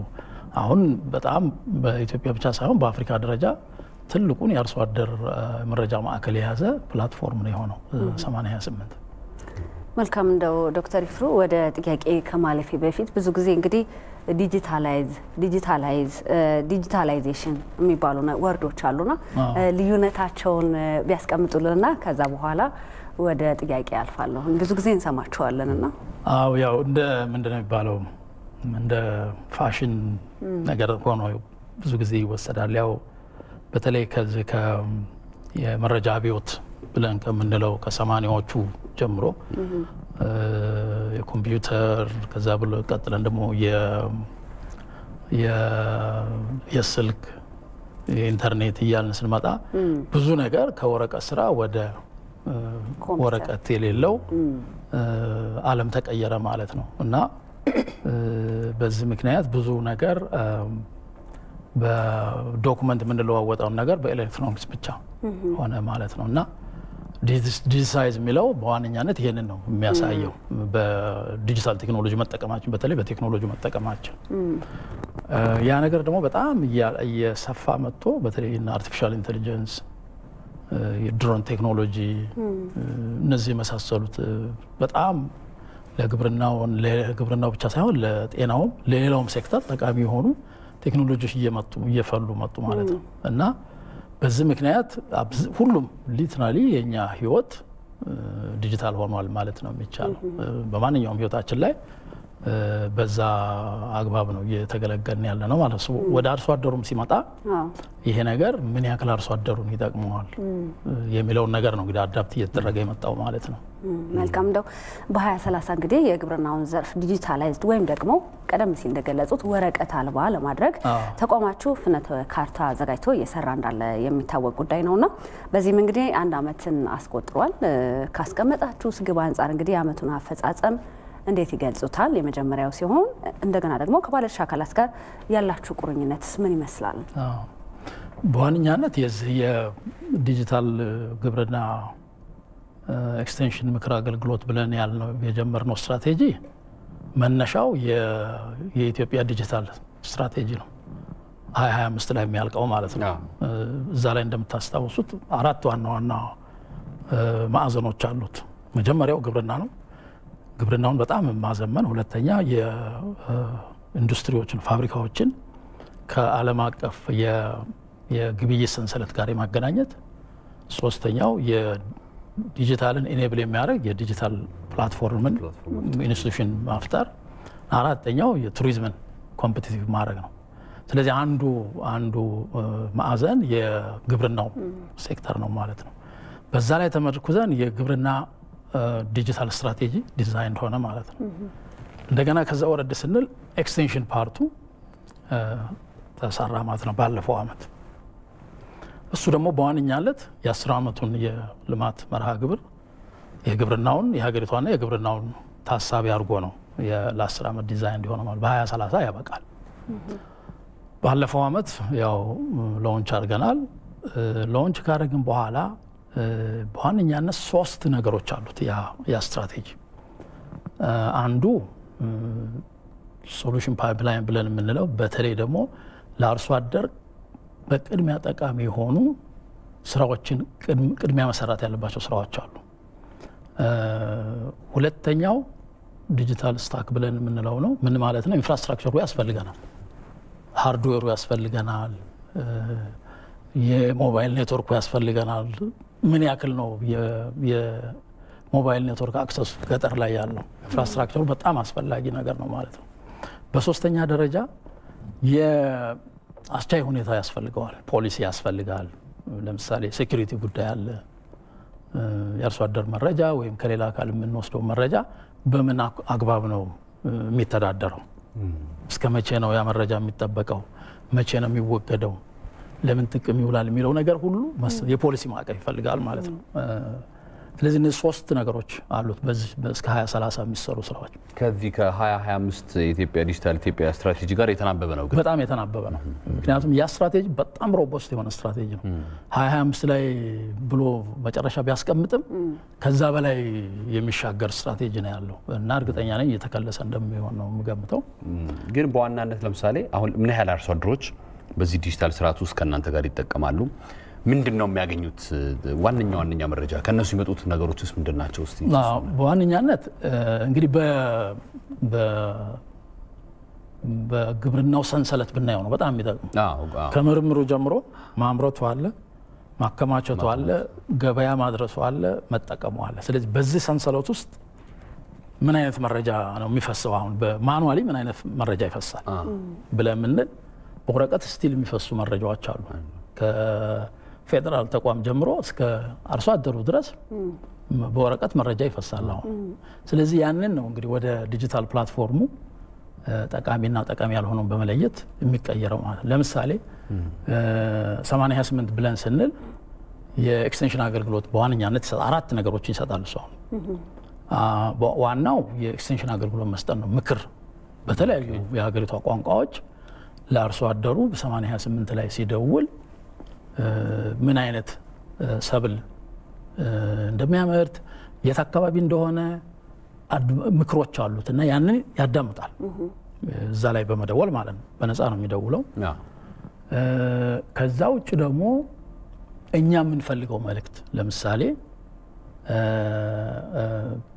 በሽታ ተከስቶ ከሆነ አንድ አካባቢ እንዲህ አይነት ለምሳሌ ዋግ ሊሆን ይችላል፣ የስንዴ ዋግ እንዲህ አይነት በሽታ ስለተከሰተ አካባቢያችሁ ላይ ጥንቃቄ እንድታደርጉ እነሱም ደግሞ ይልካሉ። እዛ አካባቢ ላይ የስንዴ ዋግ ስለተከሰተ እባካችሁ እርዱን የሚል መልእክት ይልካሉ። ያንን እኛ consolidate እናደርግና ለግብርና አካላት በዛው ወረዳ እርምጃ እንዲወሰዱበት ይደረጋል። ከዛ ውጭ ትልቁ ደግሞ ስራ survey ማካሄድ እንችላለን። በዚህ በ88 ለምሳሌ ምን ያክል ተጠቃሚ ነህ በዚህ አገልግሎት ብሎ በ text ነው መልክ በጣም በአጭር በሆኑ በ text መልስ ይሰጣል። ያንን survey ማካሄድ እንችላለን። እንግዲህ ከ extension perspective advise ይሰጣል፣ ምክር ይሰጣል ማለት ነው። ሌላው የብሔራዊ ገበያ መረጃ ስርዓት ምንለዋለ market information system እሱ ደግሞ በየሳምንቱ በሶስት መቶ ገደማ ወረዳዎች ላይ ያሉ የሰብል አይነቶችን ዋጋ ብዛት የምንሰበስብበት መረጃ ነው ማለት ነው። ባህር ዳር ላይ አንድ ኩንታል ጤፍ ስንት ነው? አዲስ አበባ ላይ ስንት ነው? ጅማ ላይ ስንት ነው? ስለዚህ ፖሊሲ ወይም መውሰድ የሚፈልግ ሰው እርምጃ መውሰድ የሚፈልግ ሰው ከአንድ አካባቢ ወደ አንድ አካባቢም እህልን ለማዘዋወር ይችላል ማለት ዋጋውን እያየ ማለት ነው። እንደዚህ አይነት መረጃዎች እየተሰበሰቡ አለ ማለት ነው። በቁጥር ደረጃ ግን እስቲሜት ይደረጋል። ምን ያህል አርሶ አደር አሁን በ88 6.2 ሚሊዮን አርሶ አደር ተጠቃሚ ነው። በዚህ በገበያ መረጃ እንትኑ ደግሞ አንድ ሚሊዮን አርሶ አደር እየተጠቀመ ነው። በአንጻራዊ መልኩ እሱ በቅርብ ጊዜ ነው ወደ ስራ የገባ ነው። ሶስት ዓመት ገደማ ቢሆነው ነው። ግን በጣም እያደገ ያለ እንትን ነው። ሌላው በጣም important ነገር እንግዲህ የግብአት ማቅረብ ነው ትልቁ ነገር። ቀደም ሲል ግብአት የሚቀርበው ክልሎች ያላቸውን በጀት ለብሔራዊ ባንክ I mean ለንግድ ባንክ በማስያዝ ነው ማዳበሪያ ንግድ ባንክ የገዛና ወደ ህብረት ስራ ማህበር ሄዶ ወደ አርሶ አደር የሚሄደው። በዚህ ምክንያት በርካታ ብድር ያለመመለስ ችግር ነበርና ክልሎችም ይቸገሩ ነበር። ስለዚህ ምንድነው ያደረግነው የግብአት ኩፖን ስርዓት ወይም input voucher system የምንለው ገበያ ውስጥ ያስገባ ነው ማለት ነው። እሱም አንዱ የዲጂታል platform ነው ወደ ወደ አርሶ አደሩ እንዲገባ ያደረገ። ስለዚህ አርሶ አደሩ ኩፖን ይዝና ማህበራት ጋር ይሄዳል። ማህበራት የሚፈልገውን ማዳበሪያ ወይም agro chemical ይሰጠዋል ማለት ነው። በዚህ ምክንያት ክልል ካሁን ቀደም ሲያዝዝ የነበረውን በጀት እንዳያስይዝ አስችሎታል ማለት ነው። አሁን ባለፈው ዓመት ብቻ በዚህ ስርዓት 6.7 ሚሊዮን አርሶ አደር የግብአት አቅርቦት ተጠቃሚ ሆነ በዚህ platform ማለት ነው። በዚህም 32 ቢሊዮን ብር የሚገመት ገንዘብ ነው የተዘዋወረው በዚህ ስርዓት ውስጥ። በተለይ ዲጂታል ቴክኖሎጂን ለግብርናው ዘርፍ ብናውለው ምን ያህል ጠቀሜታ እንደምናገኝና በጣም የገረመኝ ደግሞ 6.2 ሚሊዮን የሚሆኑ text ኡ በነጻ text ኡ ስለ ግብርና ያለውንም ጥያቄ ያጋጠማቸውንም ነገር ማድረግ መጀመራቸው ቀላል የሚባል ቁጥር አይደለም እና የሚያበረክተው አስተዋጽኦም ቀላል አይደለም። ራሱ 32 ቢሊዮን ብር በጣም ከፍተኛ ነው ነው ብለን እናስባለን። አዎ በጣም ነው የምናመሰግነው ዶክተር ይፍሩ ታፈሰ ዶክተር ይፍሩ ታፈሰ የኢትዮጵያ ግብርና ትራንስፎርሜሽን ኢንስቲትዩት ምክትል ዋና ዳይሬክተር በማለዳ እዚህ ድረስ ተገኝተው ለሰጡን ማብራሪያ እጅግ በጣም እናመሰግናለን። በጣም አመሰግናለሁ።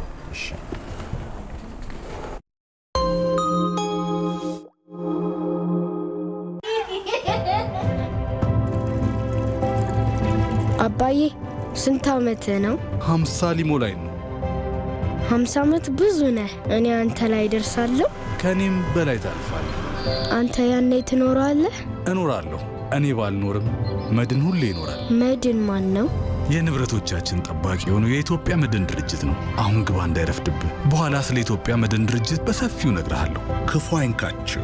ቤተሰብ ከችግር የሀገር ሀብት ከአደጋ እንዲጠበቅ ለበርካታ ዓመታት ለሀገርም ለወገንም ዋስትና ሆነናል።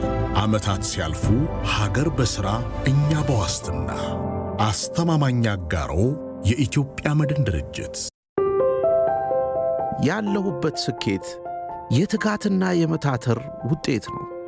ከሁሉም በላይ ደግሞ በራሴ አቅም እምነት እንዲኖረኝ ያደረጉኝ የወሰንኳቸው ብልህ ውሳኔዎች ናቸው። ለትምህርትና ለእውቀት ትልቅ ቦታ መስጠቴ፣ ሌት ተቀን ሳልሰለች በርትቼ እየሠራው ቤት መቀለሴ፣ እንዲሁም ገንዘቤን በትክክለኛው ቦታ መዋሌ ዛሬም እንደ ትላንቱ ያለምንም ቅድመ ሁኔታ ከአያት በገዛሁት ቤት ሌሎች ሕልሞቼን ለማሳካት ቆርጫለሁ። አዎ ይህ የብልሆች የኢንቨስትመንት ምርጫ ነው። በ60 40 የረጅም ጊዜ አከፋፈል ቤት ገዝተው ከቤትም ባለፈ ሌሎች ሕልሞችዎን እውን ያድርጉበት። ለበለጠ መረጃ ይደውሉልን ወይም በአቅራቢያው የሚገኙ የሽያጭ ቢሮዎቻችንን ይጎብኙ። ሕልሞን ቤት ይስጡት። አያት ዞሮ መግቢያዬ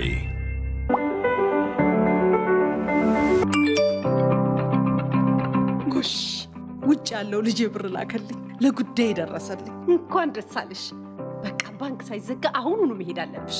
አሁንማ ቴሌ ዘይዷል። በስልክ ቁጥሬ እኮ ገንዘቡ እጄ ገብቷል። እንዴ በምን ተአምር? በቴሌ ብር ቴሌ ብር ዓለም አቀፍ ሐዋላ ክፍተትን የሞላ የዘመኑ መላ። የረፍት ቀን የሥራ ሰዓት ሳይሉ በስልክ ቁጥሮ ያለ ገደብ ገንዘብ ይቀበሉ። ቴሌ ብር ሐዋላ የተላከሎትን ገንዘብ ወዲያው በእጁ ያቀብላል። ለፈለጉት ጉዳይ የልቦን ያደርሳል። ከውጭ ሀገር በቴሌ ብር ዓለም አቀፍ ሐዋላ ገንዘብ ሲላክሉ አምስት percent ተጨማሪ ስጦታ ያገኛል። በቴሌ ብር ዓለም አቀፍ ሐዋላ በተላከሎት ገንዘብ የቴሌ ብር አገልግሎትን ተጠቅሞ ክፍያዎች መፈጸም፣ ከቴሌ ብር ወኪል ወይም ሽያጭ ማዕከሎቻችን ገንዘብ ወጪ ማድረግ እንዲሁም ወደ ባንክ አካውንትዎ በቀላሉ ማስተላለፍ ይችላሉ። ቴሌ ብር ሐዋላ አንጀት አርስ መላ ፈጣን፣ ቀላል፣ ምቹና አስተማማኝ ኢትዮ ቴሌኮም። ሕይወት በአንድ ጀንበር አትረታ። ኑሮን ለማሸነፍ ስንማትር ልክ እንደ ቀድሞዎቹ አባቶቻችን ታታሪ፣ ሰውን አክባሪ፣ ቅንና ታማኝ መሆን መዘንጋት በፍጹም የለብንም። ከሰዎች ጋር በመልካም ስነ ምግባር ተኗኗር እንደሚለው ሁሉ በችግር ሰዓት ከጎናችን የሚቆሙት ከእኛ ስኬት ውጪ ሌላ ማየት የማይፈልጉት የሚችሉትን ሁሉ አበርክተው ከሰጡን ውጭ ጭማሪ የማይቀበሉት ቀና አጋሮቻችን ናቸው። እርሶም ሱና እየተከተሉ ሐራምን እየራቁ አቋራጭ መንገድ ሳይፈልጉ በሕይወት ጎዳናዎት ላይ ቅን ሆነው ተጉዘው ኑሮን ያሸንፉ፣ ሕይወቶን ይለውጡ፣ የልፋቶንም መልካም ውጤት ያጣጥሙ። እኛም ልክ እንደ ድሮ በደንበኞቻችን ፍላጎት መሰረት የሸሪያውን መርህ በተከተለ ከወለድ ነፃ የቁጠባ ሂሳብ አማራጮችን እንዲሁም የፋይናንሲንግና የኢንቨስትመንት አገልግሎቶቻችንን በአቅራቢያው በሚገኝ በሁሉም የኦሮሚያ ህብረት ሥራ ባንክ ቅርንጫፎቻችንና ከወለድ ነፃ ኩፕ አልሁዳ ቅርንጫፎቻችን በኩል ስናቀርብሎት ከታላቅ አክብሮት ጋር ረመዳን ሙባረክ። ኩፕ በአልሁዳ እውነተኛ አጋሮ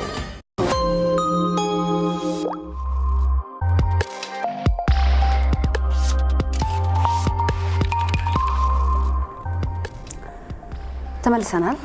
ጤና ይስጥልኝ ኢትዮጵያ ከኢትዮጵያ ቴሌቪዥን በቀጥታ መተላለፉን አሁንም እንደቀጠለ ነው። አሁን ደግሞ ወደ ሁለተኛው ምዕራፍ ልንሸጋገር ነው። በአጫጭር ዘገባዎች ነው የምንሸጋገረው። ለዛ ደግሞ ባልደረባችን ሪስ አልኦፒዮ በድጋሚ ስቱዲዮ ነው የምትገኘው። ሪስ እንዴት ቆየሽ? ደህና ነኝ። እናንተስ ቆይታ እንዴት ነበር? ጥሩ ነው። እንደተመለከትሽው መቀጠል ይቻላል። አመሰግናለሁ። ጤና ይስጥልን የተወደዳችሁ ተመልካቾቻችን፣ በድጋሚ አጫጭር መረጃዎችን ይዤላችሁ መጥቻለሁ። ሪስ አልኦፒዮ ነኝ። በሀገር አቀፍ ደረጃ 326 በቀዶ ጥገና ማዋለድ የሚያስችሉ ጤና ጣቢያዎች በቀጣይ ዓመት ስራ እንደሚጀምሩ የጤና ሚኒስቴር አስታወቀ። በሚቀጥለው ዓመት ወደ ስራ የሚገቡት ጤና ጣቢያዎች እያንዳንዳቸው እስከ 15 ሚሊዮን ብር የግንባታ ወጪ የተደረገባቸው መሆናቸውን የጤና ሚኒስቴር ዴኤታ ዶክተር ደረጀ ድጉማ በተለይ ለኤፍኤም አዲስ 97.1 ገልጸዋል። አሁን ላይ ጤና ጣቢያዎቹ የጤና ባለሙያና የመሳሪያ አቅርቦት የተሟላላቸው ሲሆን የሕክምና አገልግሎት ግብዓት በማሟላት ወደ ስራ ይገባሉ ተብሏል። የዚሁ ፕሮጀክት አካል የሆኑ 74 ጤና ጣቢያዎች በተለያዩ የአገሪቱ ክፍሎች ስራ መጀመራቸው በገጠሩና ከከተማው ዙሪያ ወደ ከተማ አገልግሎቱን ለማግኘት የሚንገላቱ እናቶችን ቁጥርን ለመቀነስ የሚያስችል ነው ብለዋል ሚኒስተር ዴታው። ሚኒስቴር መስሪያ ቤቱ በክልሎችና በፌዴራል መንግስት ወጪ አስር ሆስፒታሎችን የመገንባትና አቅምን ለማሻሻል እየሰራው ነው ብለዋል። በአመቱ ከአንድ መቶ በላይ ጤና ኬላዎች በአርብቶ አደሩና ከከተማ በራቁ ገጠራማ አካባቢዎች መገንባቱንም ሚኒስትር ዴታው ገልጸዋል። አሁን ላይ በሀገሪቱ የጤና መሰረተ ልማት ተደራሽነት በተሰራው ስራ ከአራት ሺህ በላይ ጤና ጣቢያዎችና ከ18 ሺህ በላይ ጤና ኬላዎች እንደ አጠቃላይ አገልግሎት እየሰጡ ይገኛሉ። በኢትዮጵያና ሳውዲ አረቢያ መንግስት ስምምነት መሰረት ወደ ሳውዲ አረቢያ ከሚሄዱ ግማሽ ሚሊዮን ስራ ፈላጊ ዜጎች መካከል የመጀመሪያው ዙር ተጓዦች መጋቢት 26 ቀን 2015 ዓ ም እንደሚያደርጉ ተገለጸ።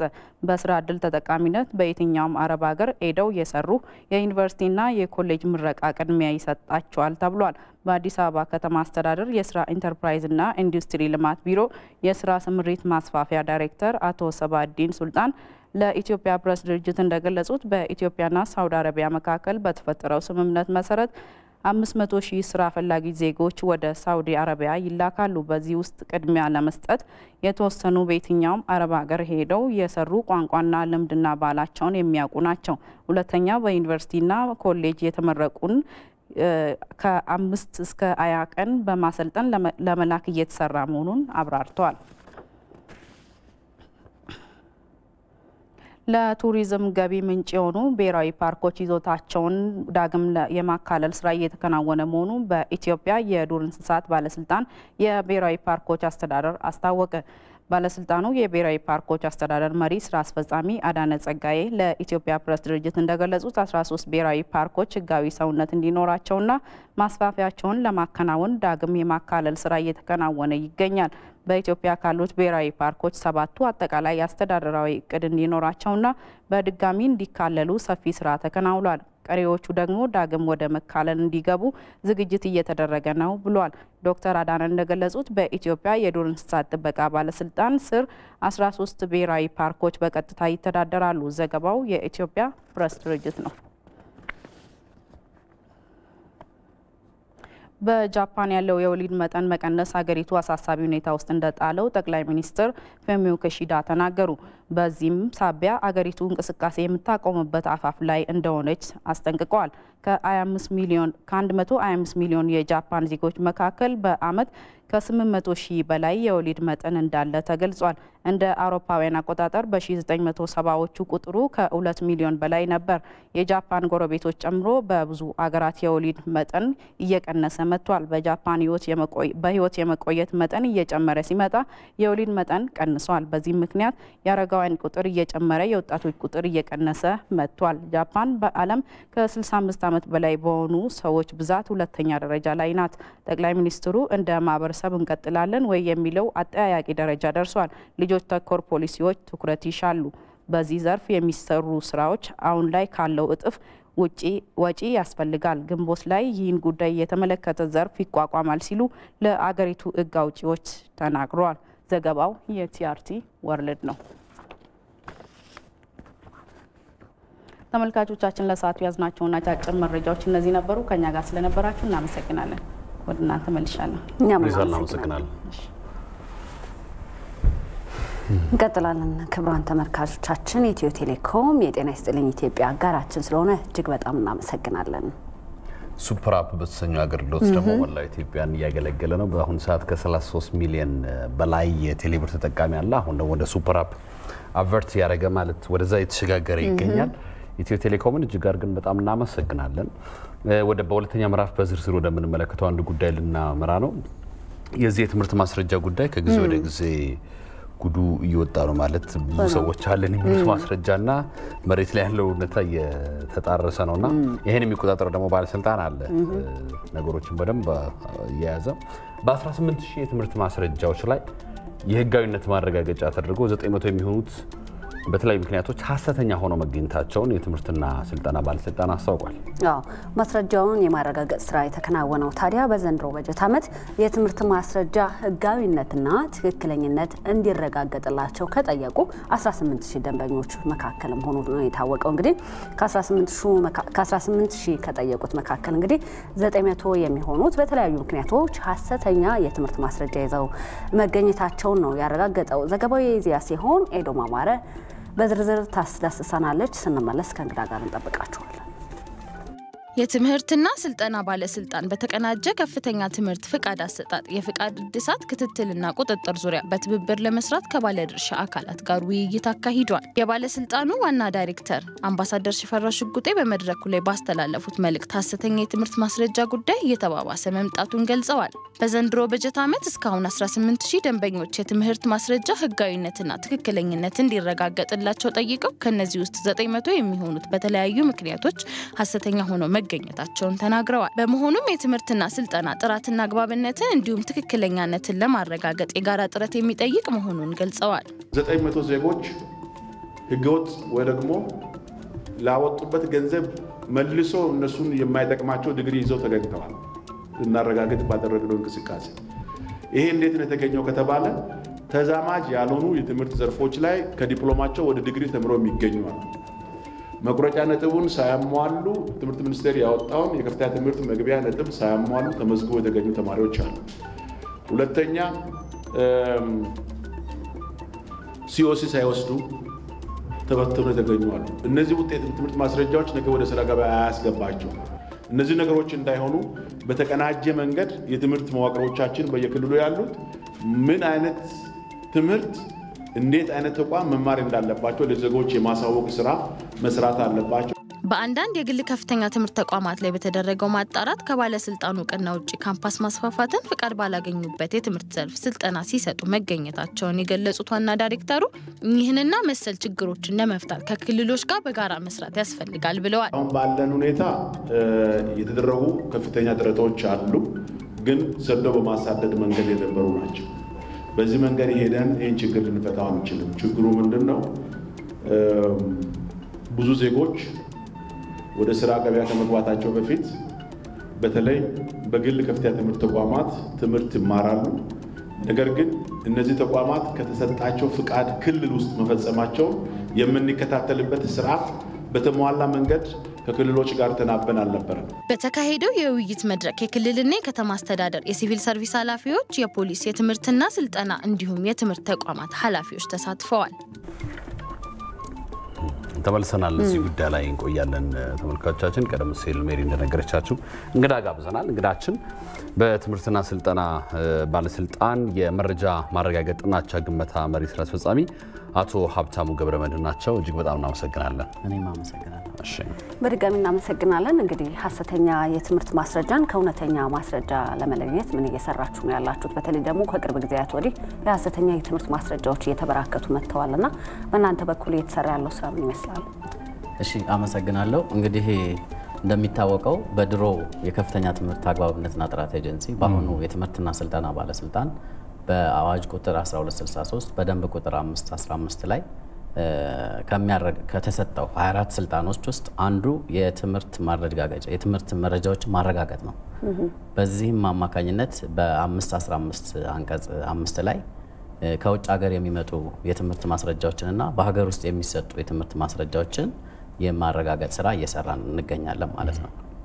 ይህን ስንል በአሁኑ ይህንን ተቋማችን ባለስልጣን ከሆነ በኋላ በተጠናከረ መልኩ ይህንን ስራ እየሰራን እንገኛለን።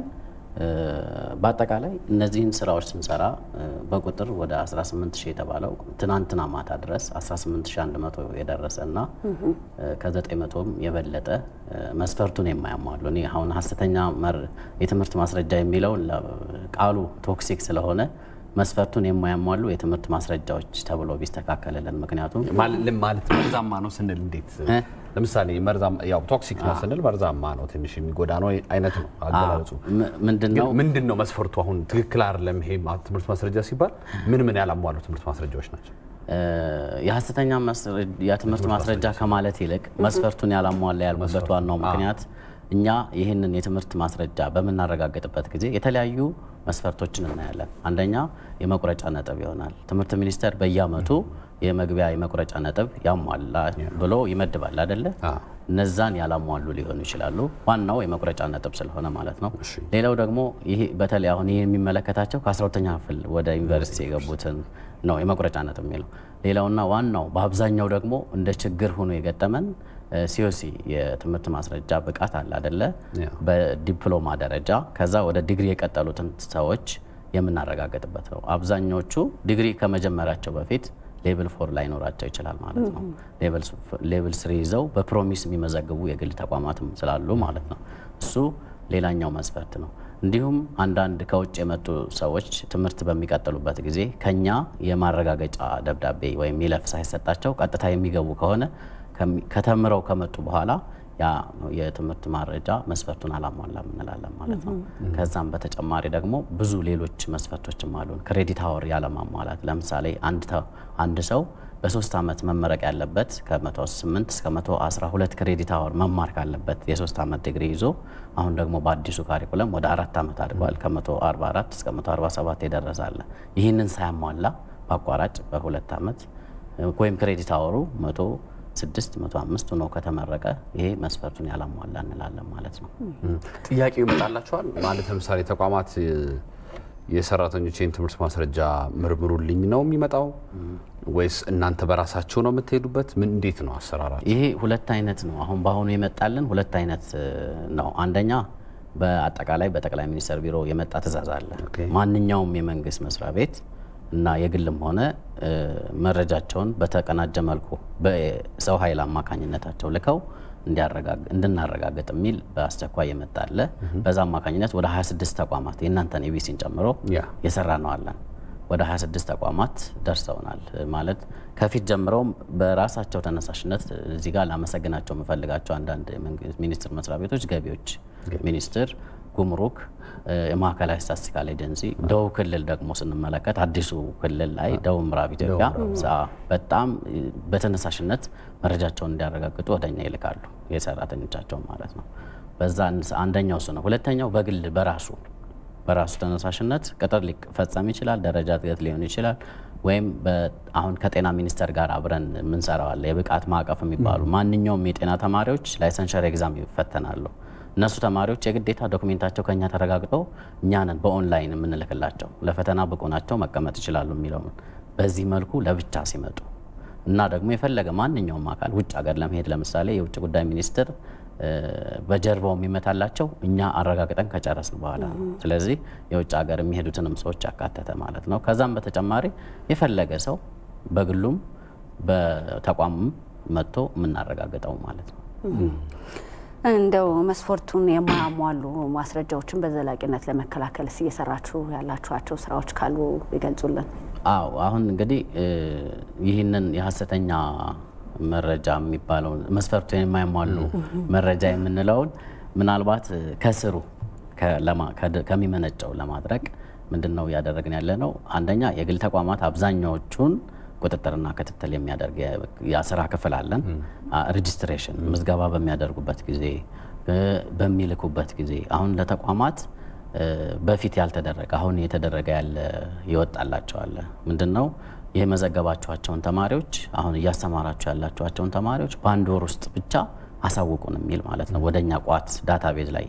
በነገራችን ላይ ይህንን ስንላችሁ ሁሉም የተማረ ተማሪ አንድ ሌላኛው መስፈርት እኛ database ላይ ያልተገኘ ሰው ዲግሪ ተምሬያለው ብሎ ቢመጣ ወይም ማስተርስ ተምር ያለው ብሎ ቢመጣ እኛ database ወይም ቋት ላይ ያልተገኘ ሰው መስፈርቱን እንደማያሟላ ዲግሪ ነው የሚቆጠረው እና ያንን ለማድረግ ካሁኑ እየተማሩ ያሉት ተማሪዎችንም ያስመረቋቸውንም ቀነ ገደብ ሰጥተን በአንድ ወር ውስጥ በሁለት ወር ውስጥ ሰጥተን ቁጥጥርና ክትትል እያደረግን ነው። ሌላም በተጨማሪ ደግሞ እንደ ተቋም ሰደን visit ድንገተኛ ጉብኝቶችን በማድረግ በተለያዩ ተቋማት እስከ 123 የሚደርሱ ካምፓሶችን ጎብኝተናል።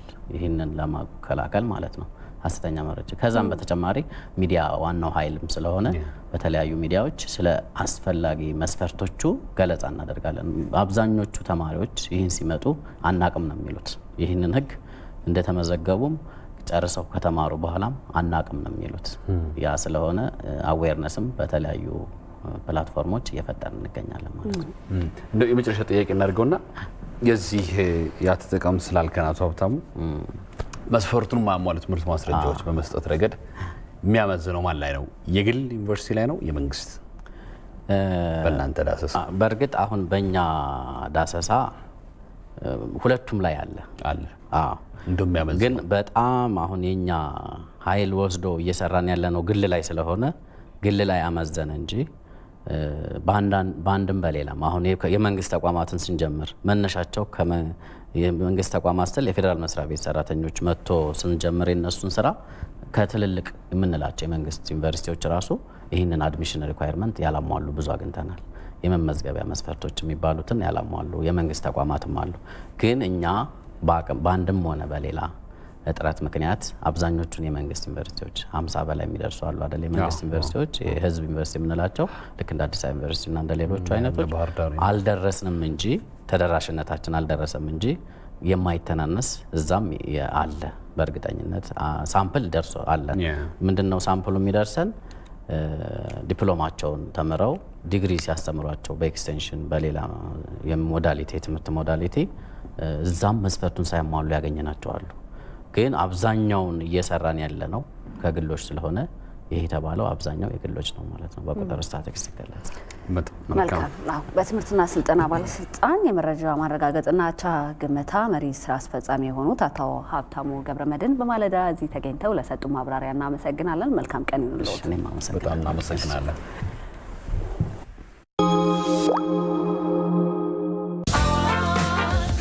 እምነት፣ ዱዓ፣ ጾም፣ ሰደቃና ወደ ቅድስት ከተማ መካ የሀጅ ጉዞ ማድረግ ሙስሊሞች በፈጣሪያቸው የታዘዙት የግዴታ ተግባራት ወይም የእስልምና ምሰሶች ናቸው። ወርሃ ረመዳን ደግሞ በሙስሊሞች ዘንድ የመንፈሳዊነት ልምምድ የሚጠነክርበት፣ እስልምና በእውን የሚገለጥበት እጅግ የተቀደሰ ወር ሲሆን ከአምስቱ የእስልምና ምሰሶች አንዱና የእምነቱ ተከታዮች ከፈጣሪያቸው ጋር በዱዓ የሚገናኙበት፣ መተሳሰብና አብሮነት ደምቆ የሚታይበት የጾም ወቅት ነው። ይህ የጾም ወቅት ሰላም፣ ፍቅርና መተሳሰብ የሚጎለብትበት ከፈጣሪያችሁ በዱዓ ያቀረባ ያቀረባችሁት ጥያቄያችሁ ምላሽ የሚያገኝበት ይሁንላችሁ። አዋሽ ባንክ።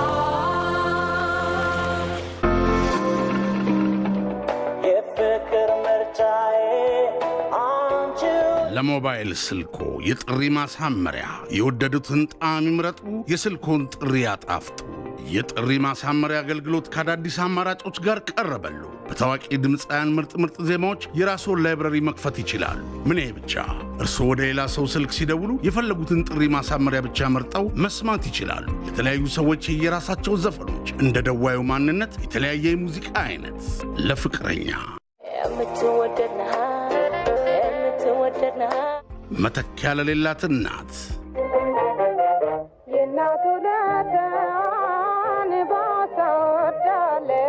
ለጋሻ መከታው አባት ምርጫው መንፈሳዊ ዜማ ከሆነ እንደ ፍላጎቱ ያገኛሉ። አገልግሎቱን ሲጠቀሙ ለአንድ ሙዚቃ አምስት ብር እንዲሁም ለወራዊ ኪራይ አምስት ብር ብቻ ይከፍላሉ። 822 ላይ በመደወል ወይም ኤ ብለው በመላክ በማኢትዮ ቴሌ ሞባይል መተግበሪያ እንዲሁም www ሲአርቢቲ ኢቲን በመጎብኘት በቀላሉ ይመዝገቡ። ኢትዮ ቴሌኮም ያለሁበት ስኬት የትጋትና የመታተር ውጤት ነው።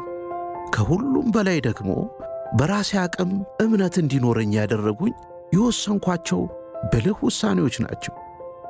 ለትምህርትና ለእውቀት ትልቅ ቦታ መስጠቴ፣ ሌት ተቀን ሳልሰለች በርትቼ እየሠራው ቤት መቀለሴ፣ እንዲሁም ገንዘቤን በትክክለኛው ቦታ መዋሌ ዛሬም እንደ ትላንቱ ያለምንም ቅድመ ሁኔታ ከአያት በገዛሁት ቤት ሌሎች ሕልሞቼን ለማሳካት ቆርጫለሁ።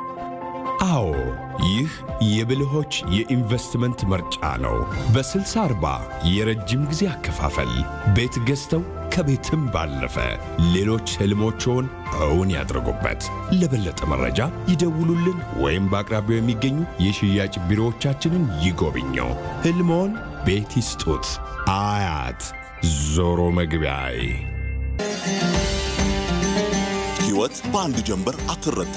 ኑሮን ለማሸነፍ ስንማትር ልክ እንደ ቀድሞዎቹ አባቶቻችን ታታሪ፣ ሰውን አክባሪ፣ ቅንና ታማኝ መሆን መዘንጋት በፍጹም የለብንም። ከሰዎች ጋር በመልካም ስነ ምግባር ተኗኗር እንደሚለው ሁሉ በችግር ሰዓት ከጎናችን የሚቆሙት ከእኛ ስኬት ውጪ ሌላ ማየት የማይፈልጉት የሚችሉትን ሁሉ አበርክተው ከሰጡን ውጭ ጭማሪ የማይቀበሉት ቀና አጋሮቻችን ናቸው። እርሶም ሱና እየተከተሉ ሐራምን እየራቁ አቋራጭ መንገድ ሳይፈልጉ በሕይወት ጎዳናዎት ላይ ቅን ሆነው ተጉዘው ኑሮን ያሸንፉ፣ ሕይወቶን ይለውጡ፣ የልፋቶንም መልካም ውጤት ያጣጥሙ። እኛም ልክ እንደ ድሮ በደንበኞቻችን ፍላጎት መሰረት የሸሪያውን መርህ በተከተለ ከወለድ ነፃ የቁጠባ ሂሳብ አማራጮችን እንዲሁም የፋይናንሲንግና የኢንቨስትመንት አገልግሎቶቻችንን በአቅራቢያው በሚገኝ በሁሉም የኦሮሚያ ህብረት ሥራ ባንክ ቅርንጫፎቻችንና ከወለድ ነፃ ኩፕ አልሁዳ ቅርንጫፎቻችን በኩል ስናቀርብሎት ከታላቅ አክብሮት ጋር ረመዳን ሙባረክ። ኩባ በአልሁዳ እውነተኛ አጋሮ ተጫዎች እሺ፣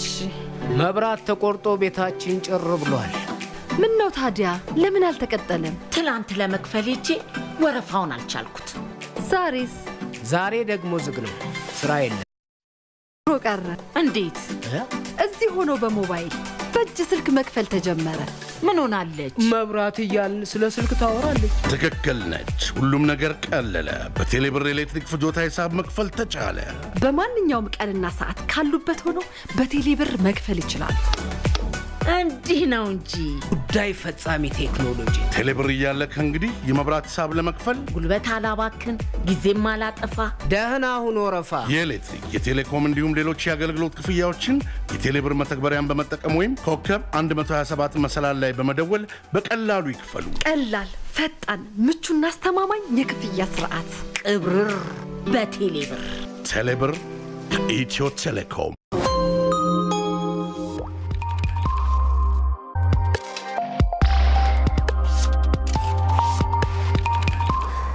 ጤና ይስጥልኝ ኢትዮጵያን ከኢትዮጵያ ቴሌቪዥን በቀጥታ ስርጭት የተከታተላችሁ ነው የምትገኙት። ኢትዮ ቴሌኮም የጤና ይስጥልኝ ኢትዮጵያ ጋር ስለሆነ እጅግ በጣም እናመሰግናለን። ክቡራን ተመልካቾቻችን እንግዲህ በትላንትናው ዕለት የንግድና ቀጠናዊ ትስስር ባወጣው መረጃ መሰረት የሁሉም የነዳጅ ምርት የችርቻሮ ዋጋ እስከ ሚያዝያ 30 2015 ዓ ም ድረስ በመጋቢቱ ወር ሲሸጥበት በነበረው ዋጋ እንዲቀጥል ተወስኗል ማለት ነው። እነዚህና ሌሎች የምጣኔ ሀብት ዘገባዎችን ባልደረባችን አብርሃም ያስቃኘናል። አብርሽ እንዴት ነህ? እንዴት ናቸው? ይመስገን ይዘኸዋል ብዬ ያስባለሁ። በተለይ ቀዳሚ ያደረግኩት ጉዳይ እሱን ነው። አመሰግናለሁ። የነዳጅና ምርቶች የጭርጫሮ መሸጫ ዋጋ በሚያዝያ ወር ባለበት እንደሚቀጥል የንግድና ቀጠናዊ ትስስር ሚኒስቴር ገልጿል። እስከ ሚያዝያ 30 2015 የነዳጅ ምርቶች የችርቻሮ መሸጫ ዋጋ ባለበት እንደሚቀጥልም ሚኒስቴሩ ገልጿል። በዚህም መሰረት እንግዲህ የነዳጅ የሁሉም የነዳጅ ምርቶች የችርቻሮ የመሸጫ ዋጋ በመጋቢት ወር ሲሸጥበት በነበረው ዋጋ እንዲቀጥል ተወስኗል በሚኒስቴሩ። ወደ ሁለተኛው ጉዳያችን ስናመራ ኢትዮጵያ የፋይናንስና የቴሌኮም ዘርፉን ለውጭ ባለሀብቶች ክፍት ማድረጓ የዓለም የንግድ ድርጅት አባልነት ድርድርን ለማፋጠን እገዛ እያደረገ መሆኑን የንግድና ቀጠናዊ ትስስር ሚኒስቴር ገልጿል። የዓለም ንግድ ድርጅት እንደ አውሮፓውያን አቆጣጠር በ1995 የተመሰረተ ሲሆን ዋነኛ ዓላማውም በአገራት መካከል ያለውን የንግድ ግንኙነት መሳለጥ ነው። ኢትዮጵያ የድርጅቱ አባል በመሆን ከሀገራትና በባለብዙ ወገን የንግድ ስርዓት ውስጥ ተሳታፊና ተጠቃሚ ለመሆን ለበርካታ ዓመታት ድርድር እያደረገች ትገኛለች። በንግድና ቀጠናዊ ትስስር ሚኒስቴር የዓለም አቀፍና ቀጠናዊ ንግድ ትስስር ዋና ስራ አስፈጻሚ ሙሴ ምንዳዬ ድርድሩን የአገር ጥቅም በሚያስከብር መልኩ አሁንም ተጠናክሮ መቀጠሉን አስረድተዋል።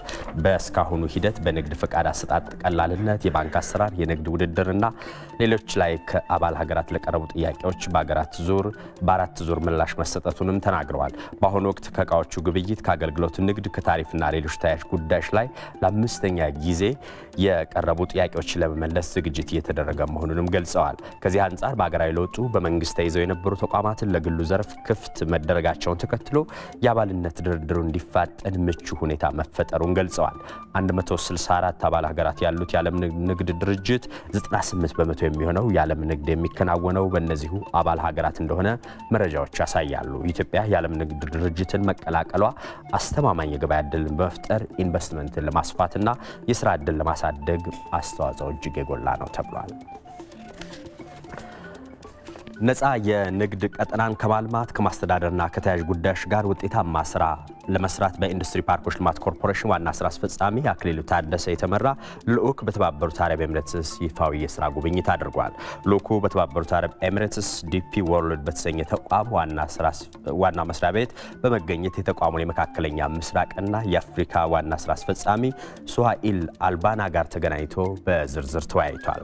በውይይቱም የነፃ ንግድ ቀጠና ልማት አስተዳደርና ተያያዥ ጉዳዮች ላይ በጋራ ለመስራት ገንቢ ሀሳቦች ተነስተው ከመግባባት ተደርሷል። የኢንዱስትሪ ፓርኮች ልማት ኮርፖሬሽን የድሬዳዋ ነፃ ንግድ ቀጠናን ውጤታማ ለማድረግ እንዲሁም ሌሎች ተጨማሪ ነፃ የንግድ ቀጠናዎችን ለማቋቋም ዓለም አቀፍ ልምድና አሰራሮችን ለመቅሰም በተለያዩ ሀገራት ይፋዊ ጉብኝትና ግንኙነቶችን እየፈጠረ ይገኛል።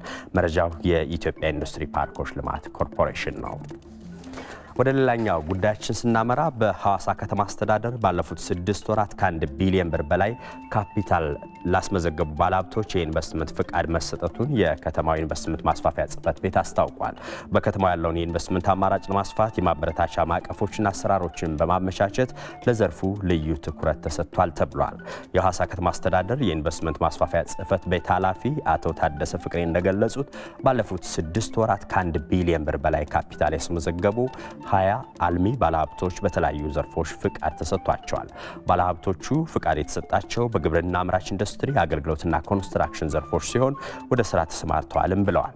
ለአካባቢው ማህበረሰብ የስራ ዕድል መፍጠር የሚሰጡት ጠቀሜታ፣ የከተማ ገጽታና ውበት እንዲሁም ሌሎች ኢኮኖሚያዊና ማህበራዊ አበርክቶቹ ደግሞ ለኢንቨስትመንቱ ፍቃድ እንደ መስፈርት የታዩ ጉዳዮች ናቸው ተብሏል። በአዳዲሶቹና በነባር ኢንቨስትመንቶቹ በበጀት ዓመቱ ስድስት ወራት ብቻ ከ1500 በላይ ለሚሆኑ ዜጎች ቋሚ የስራ ዕድል ተፈጥሯል ተብሏል። አስተማማኝ ሰላምና ደህንነት ማረጋገጥ እንዲሁም በዘርፉ ለመሰማራት የሚመጡ አካላትን ፍላጎታቸውን በመለየት ቀልጣፋ መስተንግዶና ሌሎች አበረታች አሰራር ማዕቀፎች በማዘጋጀት ዘርፉ ላይ የሚታየውን መነቃቃት ይበልጥ ከፍ ለማድረግ በመስራት ላይ መሆኑንም ተናግረዋል ሲል የዘገበው የኢትዮጵያ ዜና አገልግሎት ነው። ወደ ውጭ ጉዳዮች ስናልፍ እንግዲህ የአፍሪካ ጉዞና ቱሪዝም ኢንዱስትሪ ኮቪድ ካደረሰበት ተጽዕኖ ተላቆ እድገት እያስመዘገበ መሆኑ ተገልጿል። በደቡብ አፍሪካ ኬፕታውን ከተማ በተካሄደው እንግዲህ ዓለም አቀፍ ድርጅቶችን ያሳተፈው የአፍሪካ የቱሪዝም አውደሪ ላይም ይኸው ሁኔታ ተንጸባርቋል። በአውደሩ ላይ በአውደ ርዕዩ ላይ 577 ተሳታፊዎች ተገኝተዋል። ይህም ከአለፈው ዓመት በ35 በመቶ ብልጫ ያለው ነው። በአውደ ርዕዩ ላይ በሰፊው ውይይት ከተደረገባቸው ውይይቶች ጉዳዮች መካከል እንግዲህ በአፍሪካ ሀገራት መካከል የንግድ ልውውጥን ማሳደግ ለቱሪዝም እድገት ያለው ጠቀሜታ የሚለው አንዱ ነው። በመድረኩ የተለያዩ የአፍሪካ ሀገራትን ወክለው የተገኙ የዘርፉ ተዋናዮችም ከኮቪድ ተጽዕኖ ያገገመው የቱሪዝም ኢንዱስትሪ በቀጣይ ሀገራችን ኢኮኖሚ ለማሳደግ ትልቅ ድርሻ እንደሚያበረክት ገልጸዋል። የተባበሩት መንግስታት ድርጅት የቱሪዝም ድርጅት መረጃ እንዳመላከተው ባለፈው የ2022 የፈረንጆቹ ዓመት 900 ሚሊዮን ጎብኚዎች በዓለም አቀፍ ደረጃ ተመዝግበዋል። ለዚህ የቱሪስቶች እድገት አስተዋጽኦ ካደረጉ ድርጅቶችም በኬፕታውን የተካሄደው አውደሪ ተሳታፊዎች እንደሚገኙበት አፍሪካ ኒውስ ዘግቧል። ወደ መጨረሻው ጉዳያችን እናምራ። የኤሌክትሪክ መኪና አምራቹ ቴስላ በተያዘው የፈረንጆቹ ዓመት አንደኛው ሩብ ከፍተኛ ቁጥር ያለው መኪና አምርቶ ለገበያ ማቅረቡን አስታውቋል። ኩባንያው ከጥር ወር እስከ መጋቢት ወር መጨረሻ 422 ሺህ የኤሌክትሪክ መኪኖችን ለገበያ አቅርቧል። የኤሌክትሪክ መኪና በጣም እየተስፋፋ ያለበት ሁኔታ አለ። አሁን በተለይ የቴክኖሎጂ ሽግግር በጣም ከፍ እያለ በመጣ ቁጥር በተለይ የኤሌክትሪክ መኪናዎቹ ቁጥራቸውም እየሰፋ ነው። አምራችም አቅራቢውም ደግሞ ፈላጊዎችም በዛ ልክ ከፍ እያለ የመጣ ይመስላል። ከኪሳራ ነው እየወጣ ያለው እንደው ባለፈው ዝቅ ብሎ ነበረ ገበያው። ስለዚህ መነቃቃት አለው። በተለይ ደግሞ ሰውን ፍላጎቱ ትንሽ ወደዚኛው እየመጣ ይመስላል። ወደፊትም ደግሞ የዓለም ነባራዊ ሁኔታ የሚመራን ወደዚኛው አይነት መንገድ መሄድ እንዳለብን የግድ የሚሆንበት ጊዜ ይመጣል ብዬ አስባለሁ። ይህም እንግዲህ በአንድ ሩብ ዓመት ለገበያ ያቀረበው የመኪና ቁጥር ክብረ ወሰን ሆኖ ተመዝግቧል። ካለፈው ዓመት ተመሳሳይ ወቅት ጋር ሲነጻጸርም ከ30 በመቶ በላይ ብልጫ ያለው ነው። የዓለማችን ቁጥር አንድ ባለሀብቱ ኤለን መስክ ንብረት የሆነው ቴስላ በመኪኖቹ ዋጋ ላይ ያደረገው ቅናሽ የሽያጭ መጠኑን ከፍ እንዳደረገውም ተገልጿል። ባለፈው ጥር ወር ነበር ኤለን መስክ እንግዲህ የሽያጭ መጠናቸውን ለማሳደግ በኤሌክትሪክ መኪኖቹ ዋጋ ላይ ቅናሽ ያደረጉት። የኩባንያው ሽያጭ እድገት ቢያሳይም አንዳንድ ተንታኞች እንደሚሉት ቀደም ሲል ተገምቶ ከነበረው ዝቅ ያለ ነው። ቴስላ ባለፈው አንድ ሩብ ዓመት አሁን ካስመዘገበው የሽያጭ ቁጥር በበለጠ 432 ሺህ መኪኖችን ሊሸጥ ይችላል የሚል ግምቶችም ነበሩ። አጠቃላይ ከሀገር ውስጥም ከውጭ ያስኳቸው መረጃዎች እነዚህ መስሎ ነበር። እናመሰግናለን። እኔም አመሰግናለሁ።